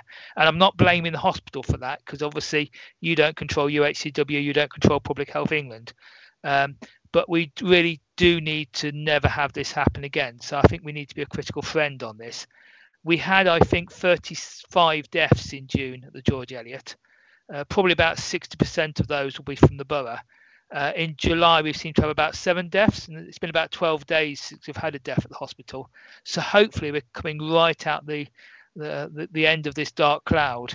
Um, but it is really important to realise that yeah, people have died at the George Eliot, who, if we had the information and we had the testing quicker and other things, we may have had less deaths. Um, and it's really important to be careful because now we're down to two or three cases in the community a day. Um, that they may go up. You know, we may have super spreaders, or they may go down to zero.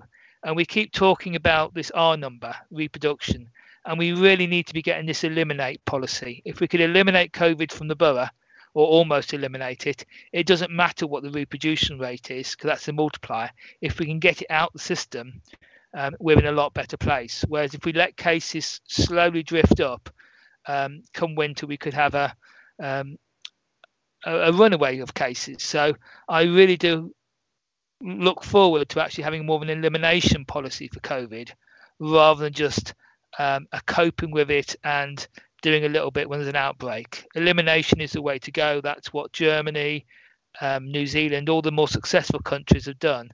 Um, and I know it's a system approach because obviously the hospital has to work with PHE England and things like health and safety executive because you have an information of where people come in from and it's trying to join all those bits up so we actually drive the system out. Thank you very much, Chair. I think I'd just say that uh, I would agree with that what Councillor Kondakor um, has said about the importance of trying to really now eliminate COVID where we can. And one of the positive things that we've seen, so for example, just to reassure people, we have not seen um, a, a, case that we believe to be hospital acquired, either probable or highly likely, since the 28th of June. So that's over three weeks in the trust. And as you can see, uh, as our numbers have fallen in the organisation, pleasingly, uh, the number of, of, deaths have fallen in the hospital. So the hospital's in a very different position to where it was either in April or in June. Um, and through the work we've been doing with Public Health England, we have taken the approach of analysing every case that comes into hospital now. So we do what we call a root cause analysis on that to try and look whether there are any connections to other people where we identify the patient. We make sure with Public Health England we're contact tracing any members of the public that may have come into contact, any members of our staff that may have come into contact, or if we have members of our own staff who test positive for COVID, we've got a really robust policy now of making sure that we're testing their tra tracking and tracing their contacts as well. So I think you are right. That is the future of really now when you've got a lower level of cases, being able to forensically chase after each and every one in order to try and reduce that number as low as possible.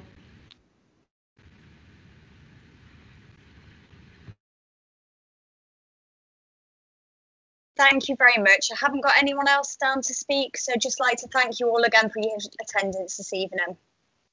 Thank you, Councillor Shepherd. Thank you. Thank you.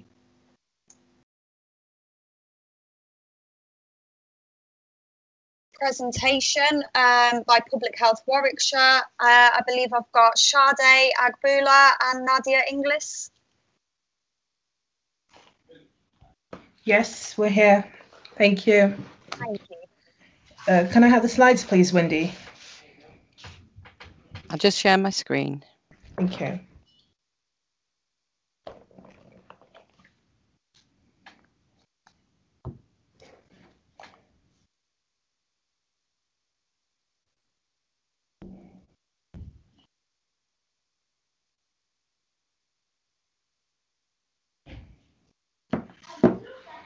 Thank you, Wendy. So, uh, good evening, everyone. Uh, thank you for um, inviting us to uh, talk you talk you through uh, a couple of um, key points. So, what I'm going to do is set out some key areas that I'm going to cover in this presentation.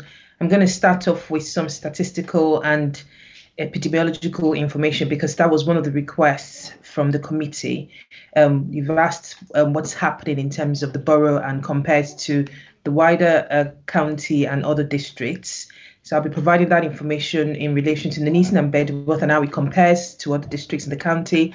This will be followed by a description of some of the ways we've dealt with and are still dealing with the pandemic because we are still in a pandemic. I will touch on some of the lessons we've learned till date, and I will finish off with an overview of how we're prepared to continue to deal with the pandemic and any further spikes or increases, and hope that that would cover some of the um, explicit requests uh, from the committee. So this first slide simply just captures the total number of cases uh, that's been recorded till date in Nuneaton and Bedworth. Slightly out of date because the slides were prepared about a week ago. The total number of cases is now at 862, and the rate is about 667 per 100,000 cases. Um, and Bedworth has consistently had the highest number of cases since the start of the pandemic, even before we had Pillar 2 data. So we've uh, had Pillar 1 data up until um, end of May, early June, and now we're recording Pillar 2 data as well a lot of the cases that we're seeing now is coming from pillar two testing, which is testing that happens within the community. Uh, next slide. Um, just this is just a slide that tells you um, some of the work that we've been doing, and ideally should probably have been at the bottom of the presentation. So we've done a health impact assessment on the back of this realization that some areas of the county have been disproportionately impacted upon by the pandemic, which goes back to Councillor Kondakor's question and some of the questions that's been raised already today as to why the Nuneaton and Bedworth has seen a higher number of cases compared to the rest of the county. We've done a health impact assessment looking at four different areas that health might have been impacted upon, and the analysis has shown us that health and well-being has been impacted deeply by changes and um, looking into the future and recovery, we recognize that any recovery efforts that we put together must take into account all of these four areas. Something else that's come out from our health impact assessment Chief is, Inspector Carl Faulkner, Warwickshire Police. Is uh, now exiting. Is the fact that um, the harm from COVID 19 has been unequally distributed across the population and is likely to continue to be so whilst it's circulating. So I'm really glad to hear the point made about um, the our target should be eliminating um, COVID 19 entirely, which is what our outbreak control plan is seeking to do. And I'll talk about that later on in the presentation. Next slides.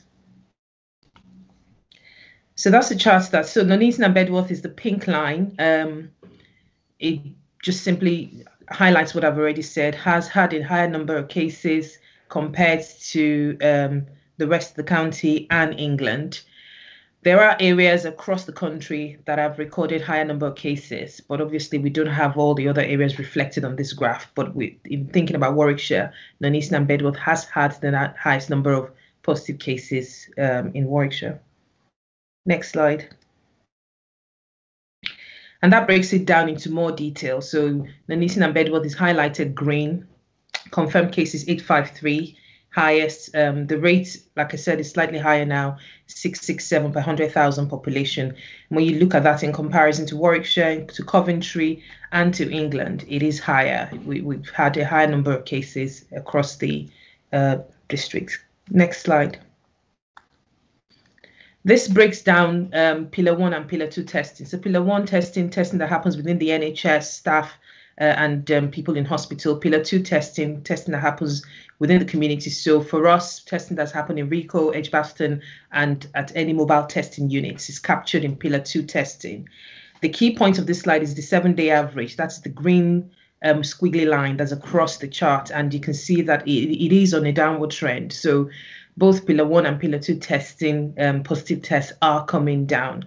And um, if you look at the positivity rates, which we have access to for Nuneaton and Bedworth, it is now at 1%, I believe, seven day positivity rate. There's also something that we um, get um, from Public Health England, which is called exceedance reports. Uh, and that is produced on a, on a regular basis, I think on a weekly basis, and breaks down number of cases over a 10 day period, looking at the number of cases compared to expected cases. And we have seen that Nuneaton and Bedworth exceedance has been consistently green. So within a 10-day period, we're expecting that Nuneaton and Bedworth should be having at least 45 to 48 cases. Now they're tra- Nuneaton and Bedworth is tracking at about 20, and that's in comparison to some other parts of the county which have seen red exceedances and which we've had to investigate in the last couple of weeks. Uh, next slide. Uh, we looked at some of the personal characteristics of all of the positive cases. Um, and what is clear is that those contracting COVID 19 in the borough are slightly younger than across the county. And uh, many of the positive cases in the younger age groups have come through the Pillar 2 community testing program. I think that's yeah, that's another quite um, straightforward slide. Breaks it down by pillar one, pillar two, total number of tests that have been con- conducted. I think the, the the fact that you find older people in pillar one testing is probably explained by the fact that pillar one testing happens in hospital uh, in, and picks up a lot of people that are in the older age groups compared to pillar two testing, where people can drive to a, a, a testing site and have a test completed. Next slide. We also looked at some ethnicity breakdown of people that have tested positive, and um, ethnicity data not very good. Um, looking at a sample of positive cases, what's clear is that um, people from Indian, Pakistani, uh, and um, other ethnic groups are disproportionately affected in Nuneaton and Bedworth when you compare to the rest of the county. So if you look at the Indian group, for example, 9.1% of positive cases in Nuneaton and Bedworth compared to 5.2% in Warwickshire, which is um, possibly due to the fact that you have uh, slightly more diversity in Nuneaton and Bedworth, but is noteworthy because of the established um, emerging relationship between BAME, Black Asian minority ethnic communities, and their risk of contracting COVID-19 and risk of dying from COVID-19. So it's no, it's something to, to take note of. Next slide. Um, we broke down the data that we have available to us by geography. At the start of um, the um, outbreak that happened in George and in the community, at that point, we did not have access to this sort of data that would tell us what was happening uh, in by wards. We've only just started to have access to that data. It's about, probably about three weeks old now that we now have access to this data.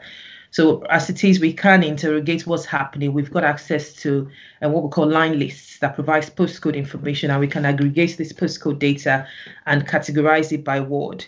And what's come out is that Wembrook has got the highest number of cases cumulatively. So total number of cases. And then in the last seven days, what we did was look at what's happening in more recent times. So you can see Wembrook, Abbey, and um, um, Exhall have got um, the highest number of cases in the last seven days. Um, and that's that's really something that's helpful for us to know, especially when we're trying to target our comms, uh, when we're trying to target siting of a mobile testing unit, for example, and we have used all of this information in taking decisions as to what the next steps are to ensure that we get the right messages across to people in Nuneaton and Bedworth. Next slide.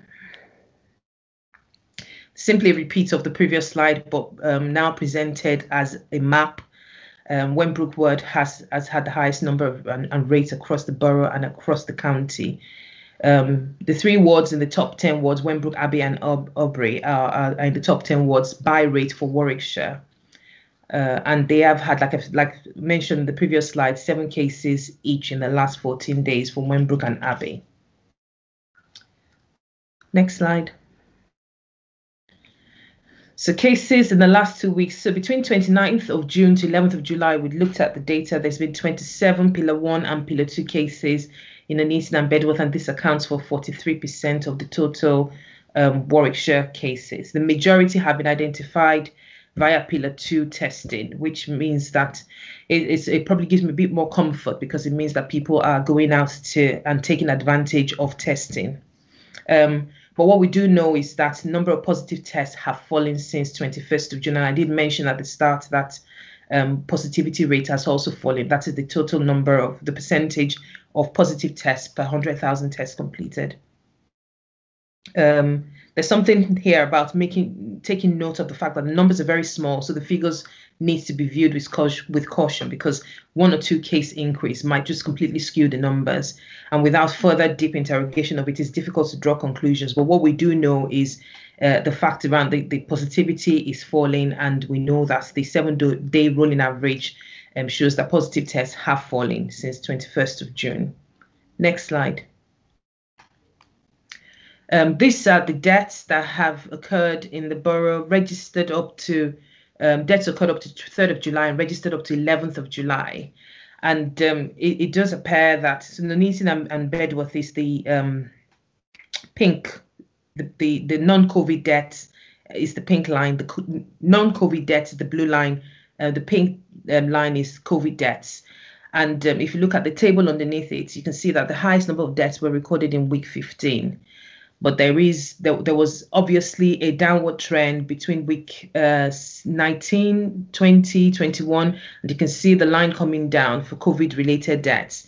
But there was a sharp increase between week 24 and week 27 and we've had a look at what could be responsible for this. And this coincides with the time of the George Eliot outbreak where we saw uh, an increase in number of cases and consequent increase in number of deaths subsequently.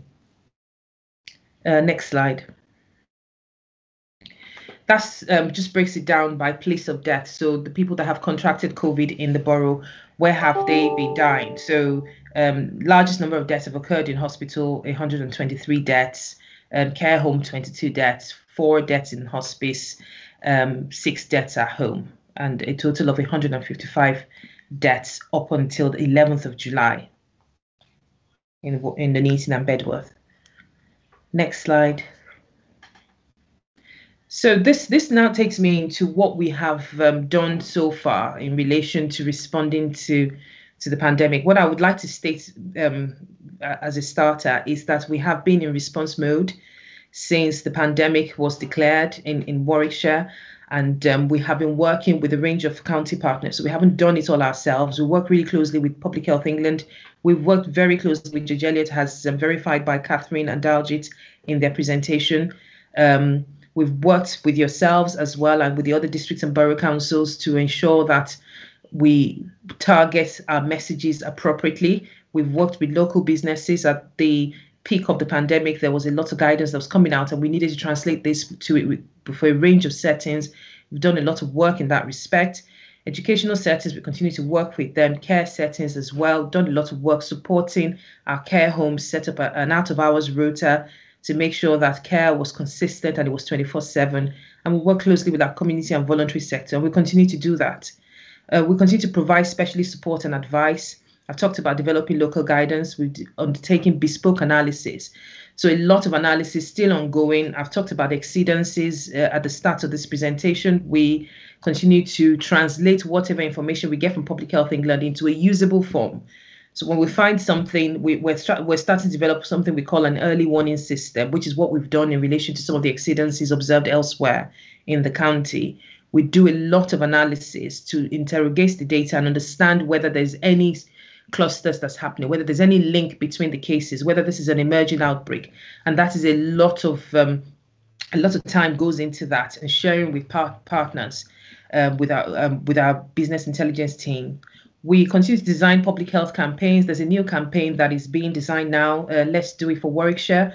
We set up a community engagement cell uh, last week, and where it was agreed by everybody on that cell that Nuneaton and Bedworth was going to be a priority area. So some of the campaign materials, which I've already seen, have been translated into uh, meaningful content for, for Nuneaton and Bedworth as well. You should be seeing that very shortly uh, and we have supported setup of, of the shielding program with with yourselves as well. Uh, we continue to function in, in business continuity mode with the launch of our local outbreak control plans as well. Uh, last slide, I think. Is that the last one? No, that's not the second to the last slide. So, some of the lessons we've learned very early on is that relationships are critical. Um, communication will be the first to to admit that this is a different um, terrain that we we are operating in. It is not customary for for us working with Public Health England to tell districts and boroughs about every single outbreak in relation to some of the other traditional outbreaks that we've had to deal with. Where if we have, have a Legionnaire's disease outbreak, for example, or a meningitis or a mumps, there are certain processes that we usually adhere to but we very quickly realized that we cannot operate in that way, uh, especially with some of the feedback that we've received from yourselves and the other uh, district and borough councils. So we have streamlined and fine-tuned our communication. We've got a clear communications protocol, and we continue to communicate with everybody that needs to know. Um, we are, like I said, still in response mode. We are dealing with a a, a higher number of outbreaks compared to uh, um, Coventry and Solihull. We are part of a beacon, um, but we are having to deal with a higher number of incidents and outbreaks in Warwickshire. We continue to do this and work with a range of settings to make sure that we quickly identify and isolate close contacts. We are addressing gaps in testing availability. So one of our quick responses to the um, outbreak in George Eliot and within uh, Nuneaton and Bedworth was to ensure that a mobile testing unit was deployed rapidly to Harefield Road car park and it was kept there for a longer period of time. Something else that we've done is to commission a, a testing service um, so that we can have access to increased swabbing capacity and be able to deploy that testing service to places where it will be impossible for uh, people who need a test to, to get to a mobile testing unit. Um, we continue to make sure that we disseminate the messages around physical and social distancing and, and some of the control measures that have worked so well at, at the start of this pandemic. Um, our view is that we cannot abandon what has worked well up until lockdown and beyond. And we continue to make sure that those messages reach everybody, um, regardless of where they are. I think la last slide, please. So this is going to be addressing the last um, point that I was going to talk about, uh, where we are and how, how we're prepared to continue to deal with the pandemic. You're probably all seen our outbreak control plans. It's published, it's on the microsite, um, and it's available if, if people haven't seen it, I'm happy to have it sent out at the end of this meeting. Uh, it's published on that site and it sets out clearly how we are going to um, manage outbreaks. The aim in our outbreak control plan, the overriding aim is that we want to reduce cases to zero. And it states that clearly within our outbreak control plan. So that is that has always been our ambition. We have had some days, consecutive days, where we've not had any cases in Warwickshire, and I'm hoping, I'm hopeful that we will get there. So we've got eight priorities within our plan. We continue to work with our communities. I've, I've, talked about a community engagement work stream that is working to build trust within the community. We continue to work with a range of key settings, high risk settings, to support them to prevent infections from happening in the first place. Continue to provide support to our shielded communities and vulnerable people. I've talked about testing capacity, the fact that we have MTUs and we're able to rapidly deploy MTUs as and when needed. We've got a fantastic relationship with our military planners and we, we know where they are at any point in time. And if I say to them today, there's an outbreak in a certain part of the county, I need an MTU by 9 a.m. tomorrow, they will make it happen. We'll continue to uh, work with Public Health England to get the right data and information in relation to contact tracing.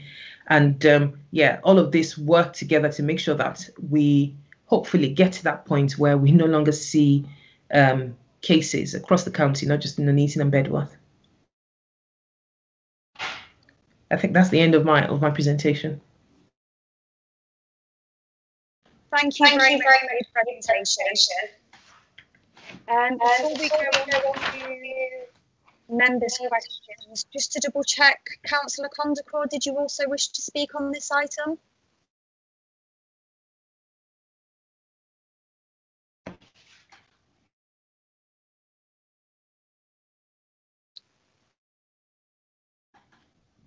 Okay, I'm going to move on to members' questions. So I've got Councillor Brown. Many thanks, Chair. Yeah, um, the graphs that we saw that compared COVID deaths with non-COVID deaths, are these deaths all deaths that involve COVID? So where COVID-19 was the primary cause of, cause of death, or, or, or does it exclude the ones where the somebody had a primary illness and COVID was incidental but present at death? So the way deaths are recorded is that um, any, all deaths due to COVID are deaths where there has been a positive confirmed test of COVID or where COVID has been mentioned on the death certificate. Right. So so so it, it's all cases where it was present. So so somebody could be primarily ill with a, with a, another another illness, uh, but because COVID was present at time of death, they're counted as being death due to COVID encountered in these statistics. Yeah. Uh, the, the, the reason I'm, I'm, I'm saying making this point is because it, historically we've got a, a, an area in Nuneaton Bedworth which people have a higher incidence of health issues than perhaps elsewhere in parts of Warwickshire. So perhaps it's to be expected then that pe pe people who've got health issues uh, are more likely to be categorised as having passed away with COVID as well as because of it so solely. Um, it, uh, the other thing is, have we analysed the data where communities fall across authorities? Um, I'm thinking of the village of Keresley, for example, where part of it falls within Nuneaton and Bedworth, part of it falls within Coventry. Um, it's a higher scoring area, but not necessarily one of the highest.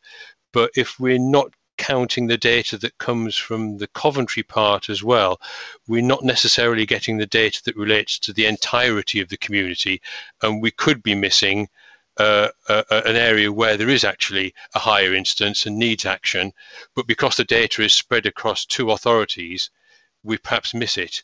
Um, so I, I, just want to know, are we looking at the entirety of the data for communities where they're split across authorities? Data we have at, at our disposal is is data that is for Warwickshire. Um, I, I'm I'm I'm pretty certain that that sort of crossover has been taken account of when the data is made available to us. Right. Unless um, um, Nadia, you want to say something else in, in relation to that? Hi. Um, yeah, I suppose I have the privilege of being working at Coventry City Council as well. So we we see the Coventry data. Um, I think we'd be very mindful if we saw some of these borderline um, areas, if they bordered, um, you know, the county, and we were seeing exceedances there. We'd certainly be having conversations with each other um, about that. So, you know, obviously we have access to both. Um, um, both sets of data. Well, I have access to both sets of data, and we're working quite closely together um, on this. And also, Public Health England would be alerting us as well if they were seeing clusters that crossed borders. Um, so we're, we're not strictly working just to authority boundaries, if that makes sense. Yeah, many, many thanks for that clarification. That's all I have. Thank you, Chair. Thank you, Councillor. Um, Councillor Tandy. Okay. Thank you. Um, thank you, Chair.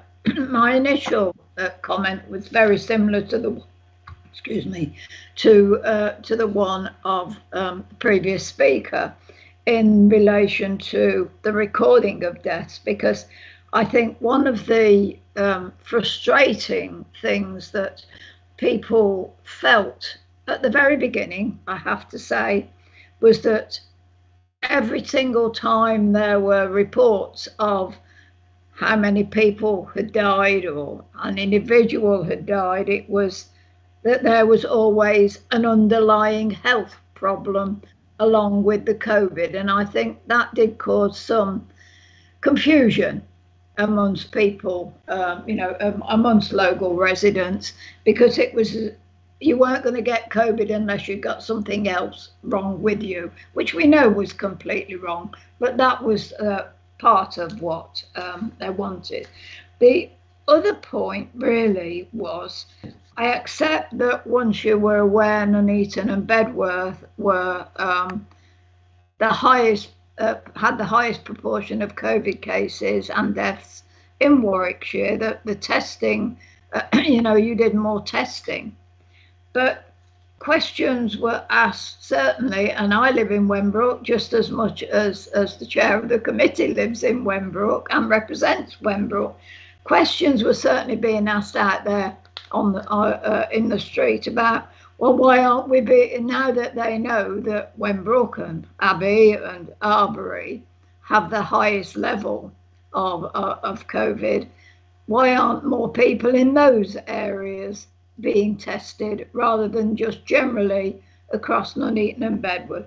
It was a question that, that I was asked, and obviously one that I couldn't answer. So it'd be interesting to know, so I can answer them, how people, you know, why people in those areas weren't tested uh, more vigorously than anywhere else in the borough.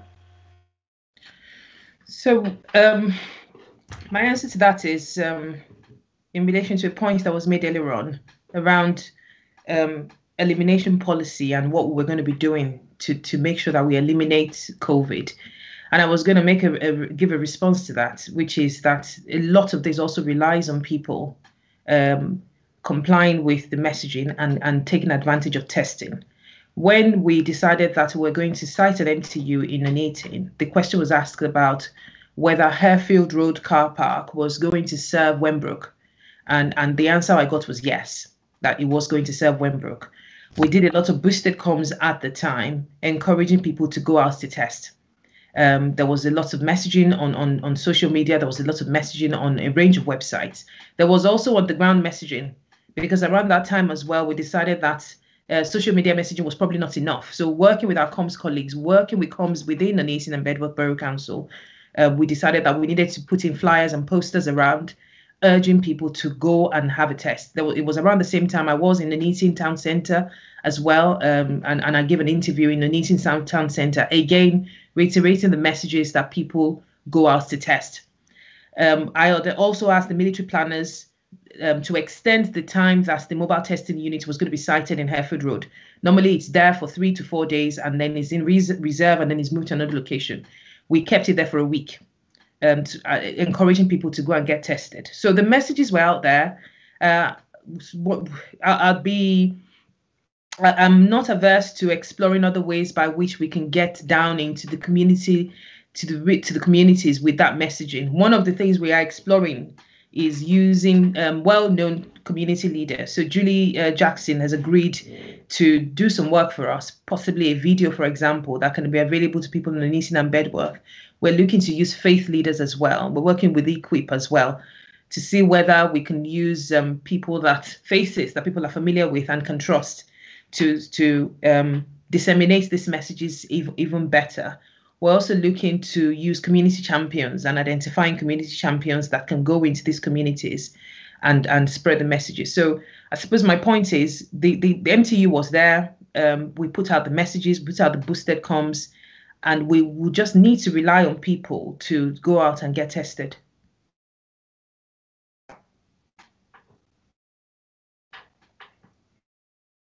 Thank you. Councillor Daffin.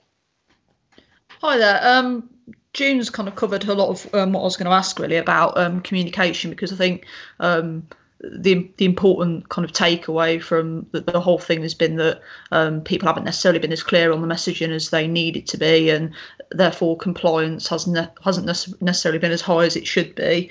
Um, particularly around um, those areas that we are still seeing kind of high uh, rates and then those areas that maybe haven't come down in the way they should. So Heath's included there. It wasn't mentioned as being on kind of the high, higher end of the list, but with four cases within those two weeks, it's kind of one of the higher ones. Um, what lessons are we able to learn from those wards where um, that isn't necessarily happening, and even places across Warwickshire? Um, how, can we learn from that to kind of stop that as an issue um, within those wards where it's kind of an issue continuing really. Um, and also, I can't remember what my second point was going to be. Maybe I'll come back to it. Um, yeah, have you got a question, an answer for that? Sorry. I'm not sure about the question. Are you asking what lessons we've learned from from areas where we've seen spikes? Yeah, I'm talking about so within like the last two weeks, and I know it's kind of taken with a pinch of salt because it's a few weeks ago, um, but we've got some areas where um, so Heath's an example. There are areas that are very similar demographically where the numbers seem to be coming right down, um, and Heath seems to be a bit a bit of a standalone area in the fact that those numbers are still quite high. So I'm just kind of asking, really, is there anything we can learn from those areas where numbers are coming down um, to explain maybe um, how we can deal with those rises in those other areas? There, are, there, there could be a myriad of explanations as to why numbers are coming down in some places. It could be due to people behavior. It could be due to population behavior. It could be due to the fact that they're not going out to test because if we don't test, we don't pick up positive cases. It could it could just be down to people doing the right thing. It could be down to um, maybe a different um, approach to policing or people engaging with the police in a different way. There are all sorts of explanations. So it, it, we, it's, it's difficult to compare apples and oranges.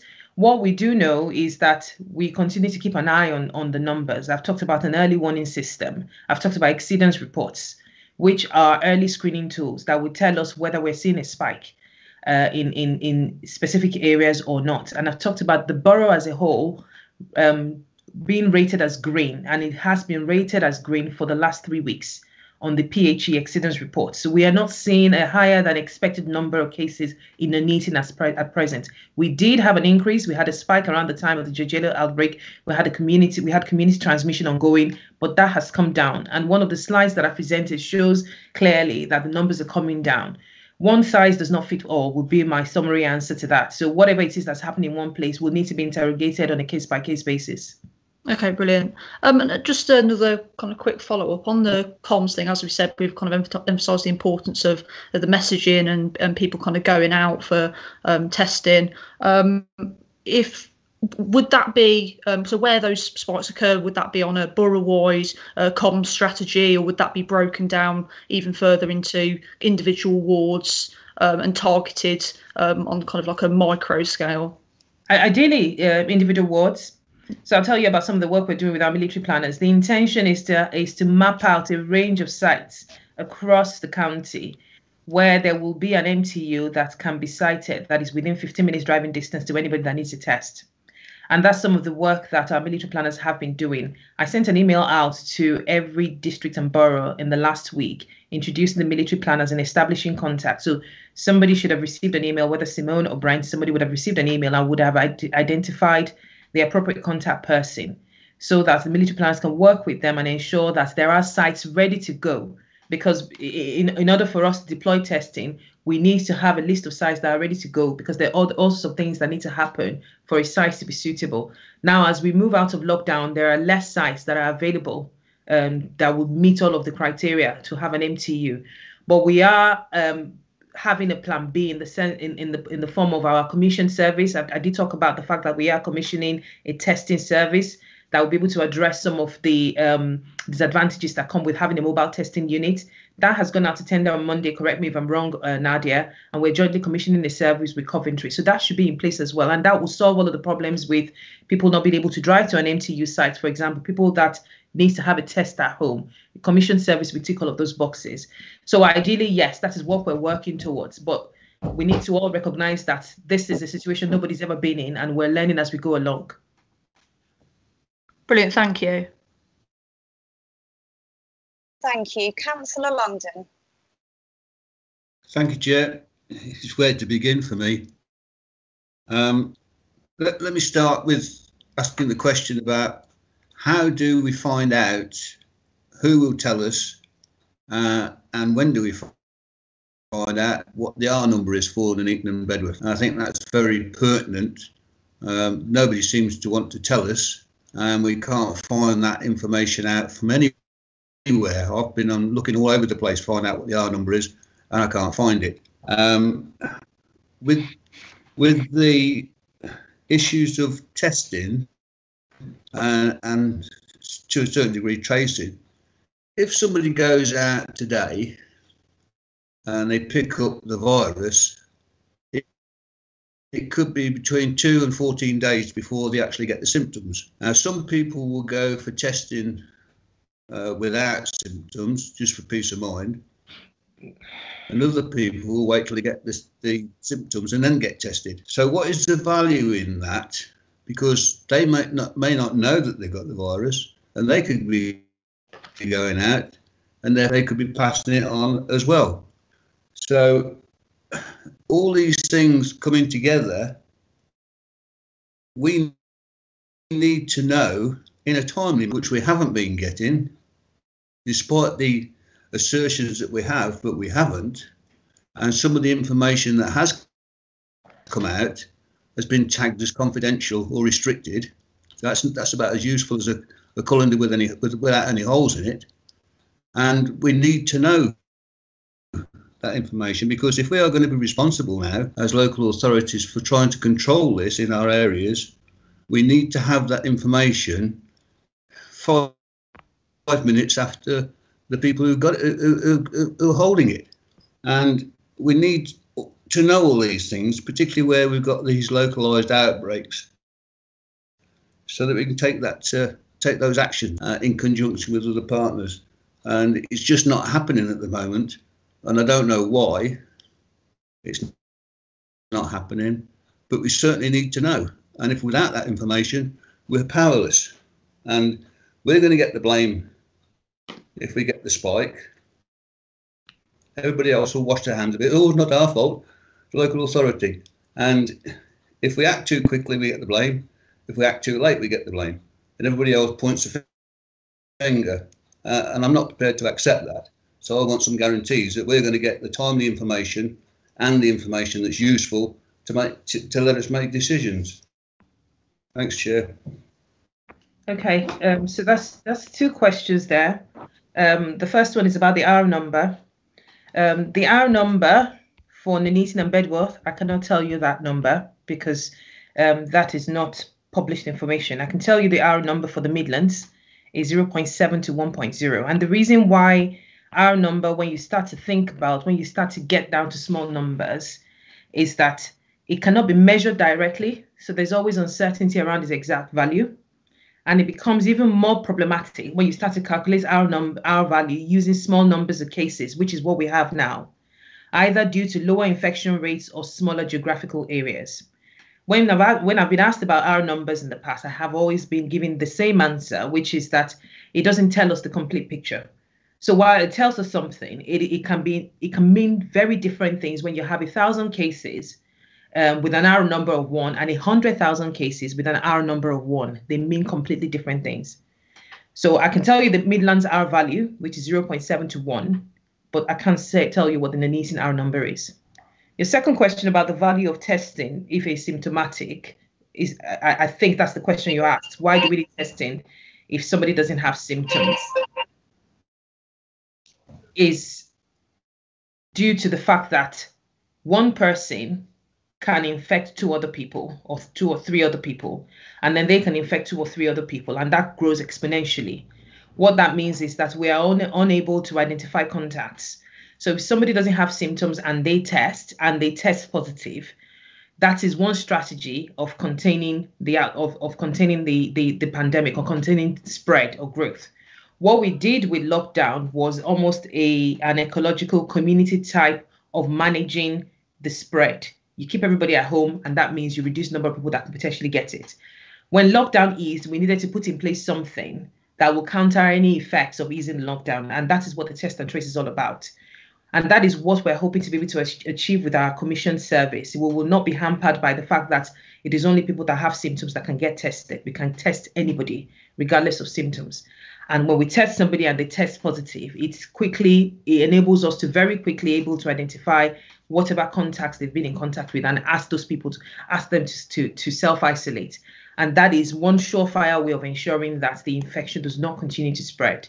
I'm not sure if that answered your question. I think the question you asked was what's the value of testing if asymptomatic?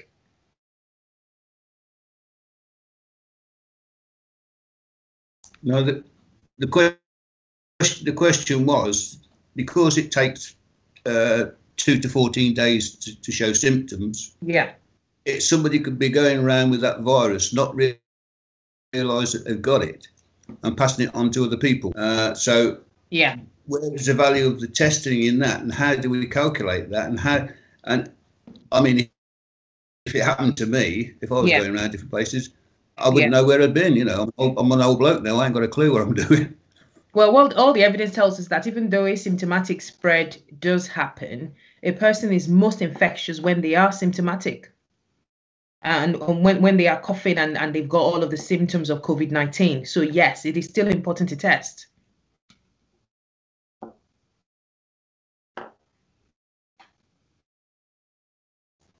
Okay, thank you. It's it's still I'm still confused about it. It's not uh, it's not going through for some reason. It, it there just seems to be this gap that that seems nobody can fill because of the time it takes to show, uh, and people can still pass it on without even knowing it, quite innocently. Some might do it deliberately, but there's, most of them will be innocent. Uh, I, I, I, uh, yes, and I agree, and I see I see that point. Yes, absolutely.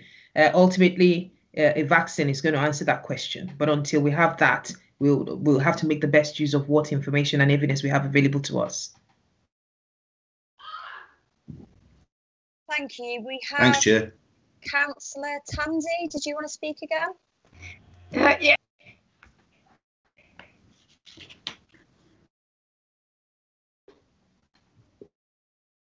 Councillor Tandy, I believe you're muted at the moment.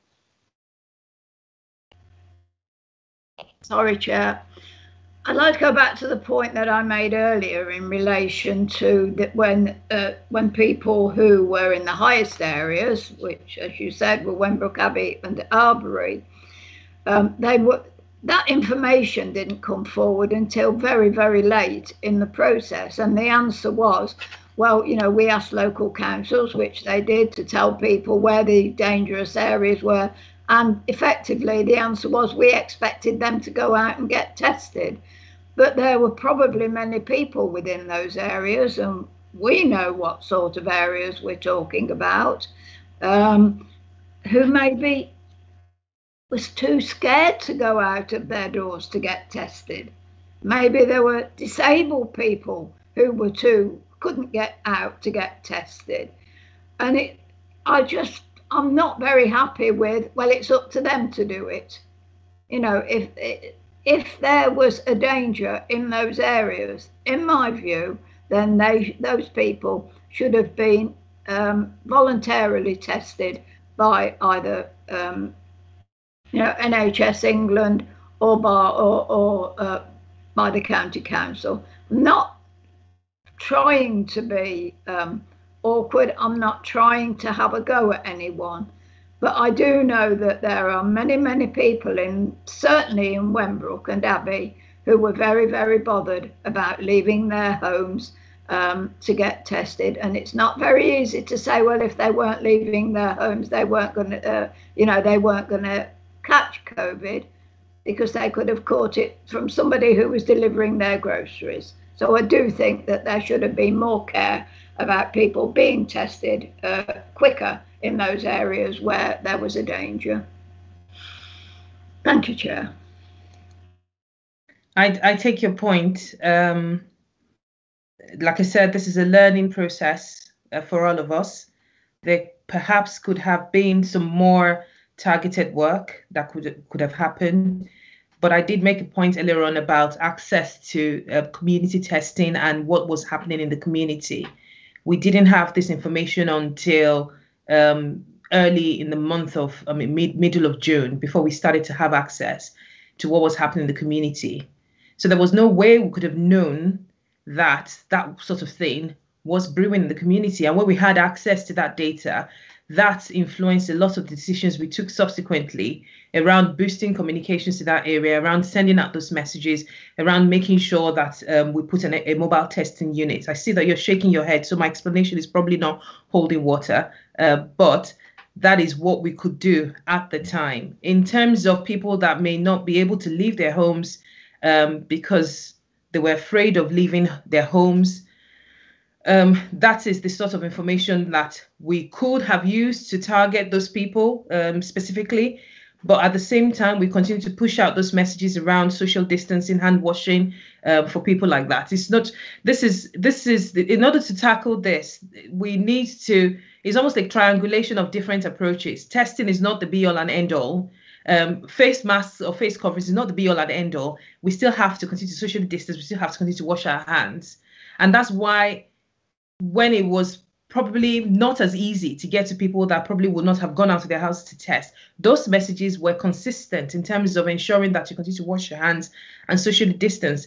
There's also, I mean, and I'm not, I'm, I'm not placing the blame on individuals that may have found it difficult to go out, but I would be, I would hope that anybody who was finding it difficult to go out and get a test would have reached out. There's a lot of offers of support um, provided by Warwickshire County Council would have reached out to their GP per, perhaps and would have and would have expressed that that they are unable to get out and they want a test and we would have taken them up we would have taken that up and would have acted on that that is what i would have hoped and that's what i'm still hoping anybody that finds it difficult to leave their homes reaches out um, to the range of offers to the range of um, avenues of support that is available across the county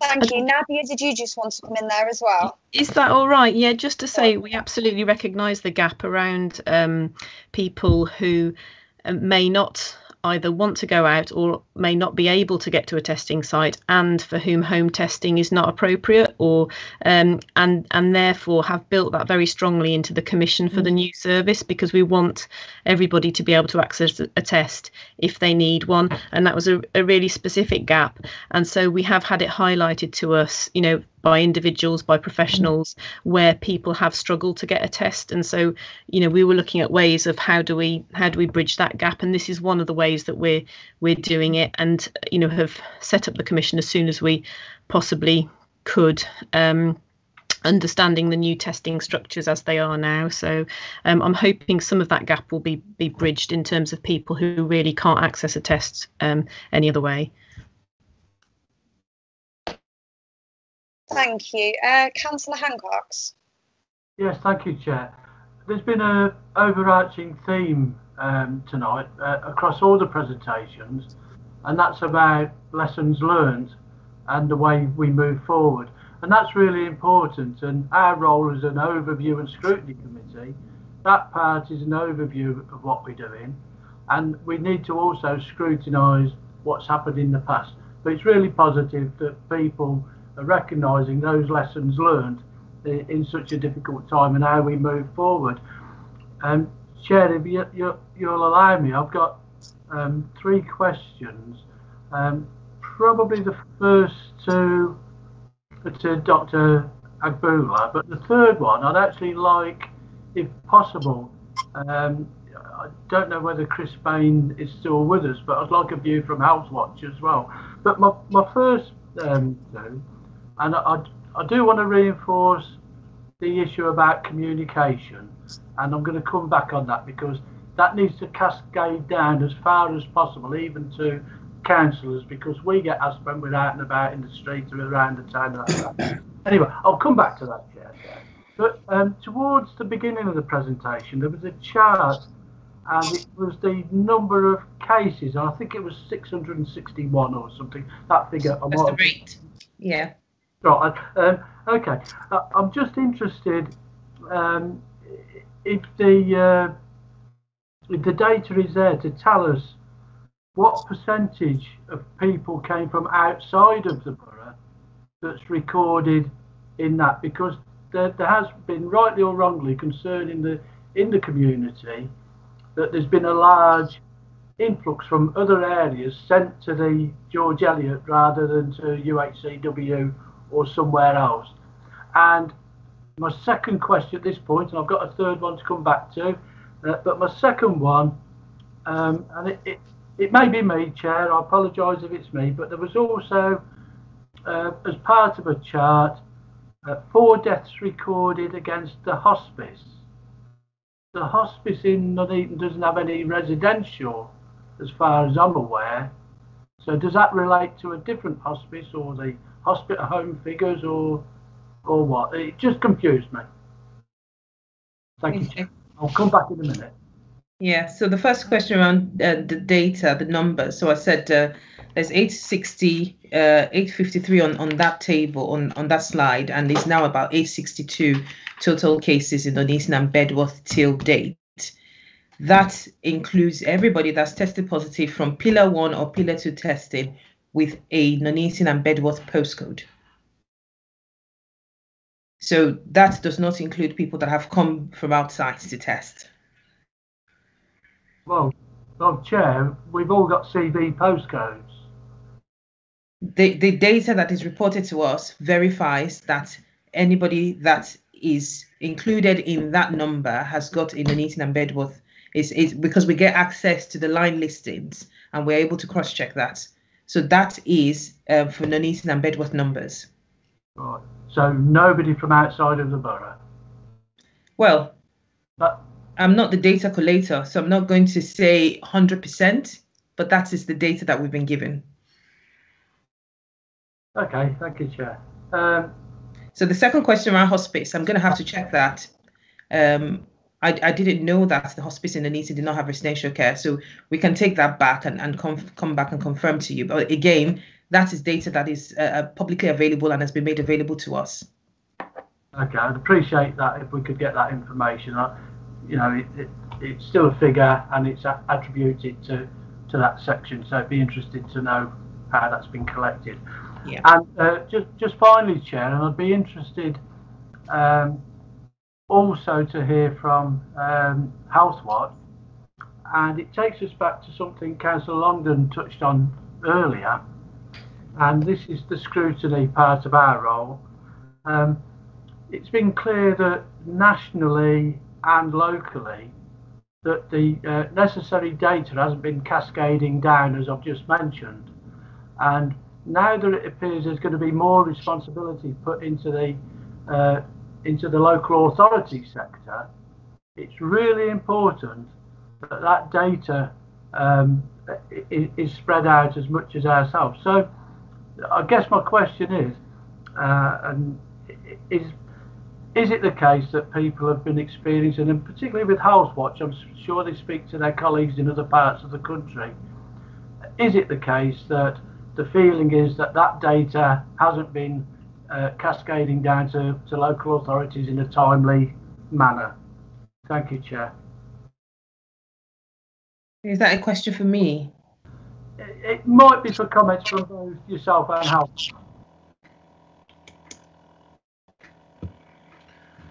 Yeah, what uh, what we hear from um, patients and from residents is that uh, they feel that there is a lot of information um, floating about, but there isn't a lot of clarity around the information, and it's really hard for them to make sense of what they're hearing. And in many cases, what people are reporting is information overload, and what they actually need is communication and not just information. I don't know what your impression's been, Sade. We are getting lots of data now. Um, we're getting some data that is publicly available so anybody can access it. We're also getting some data that is um, strictly available to only public health, local authority, public health teams, and Public Health England.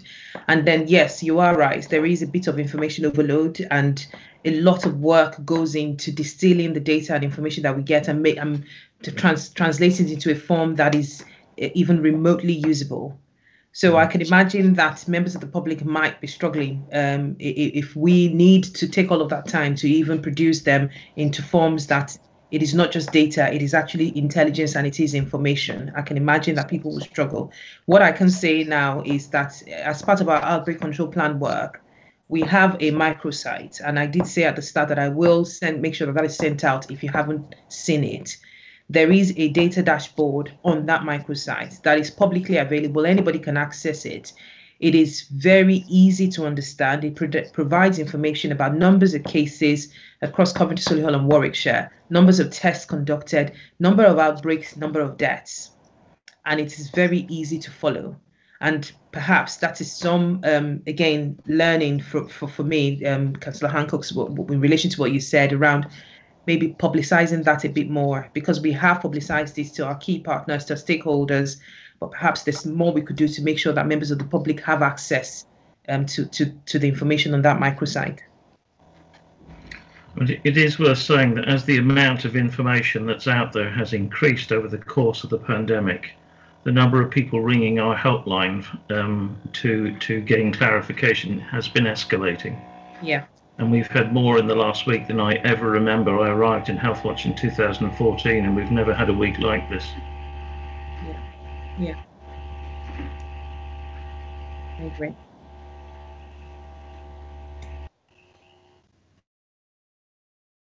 Thank you. Does any other member wish to speak that hasn't already?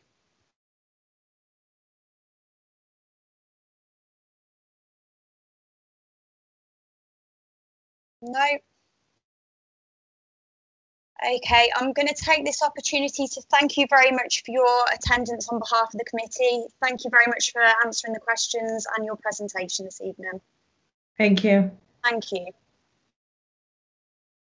I did put my hand up again. Not to worry. And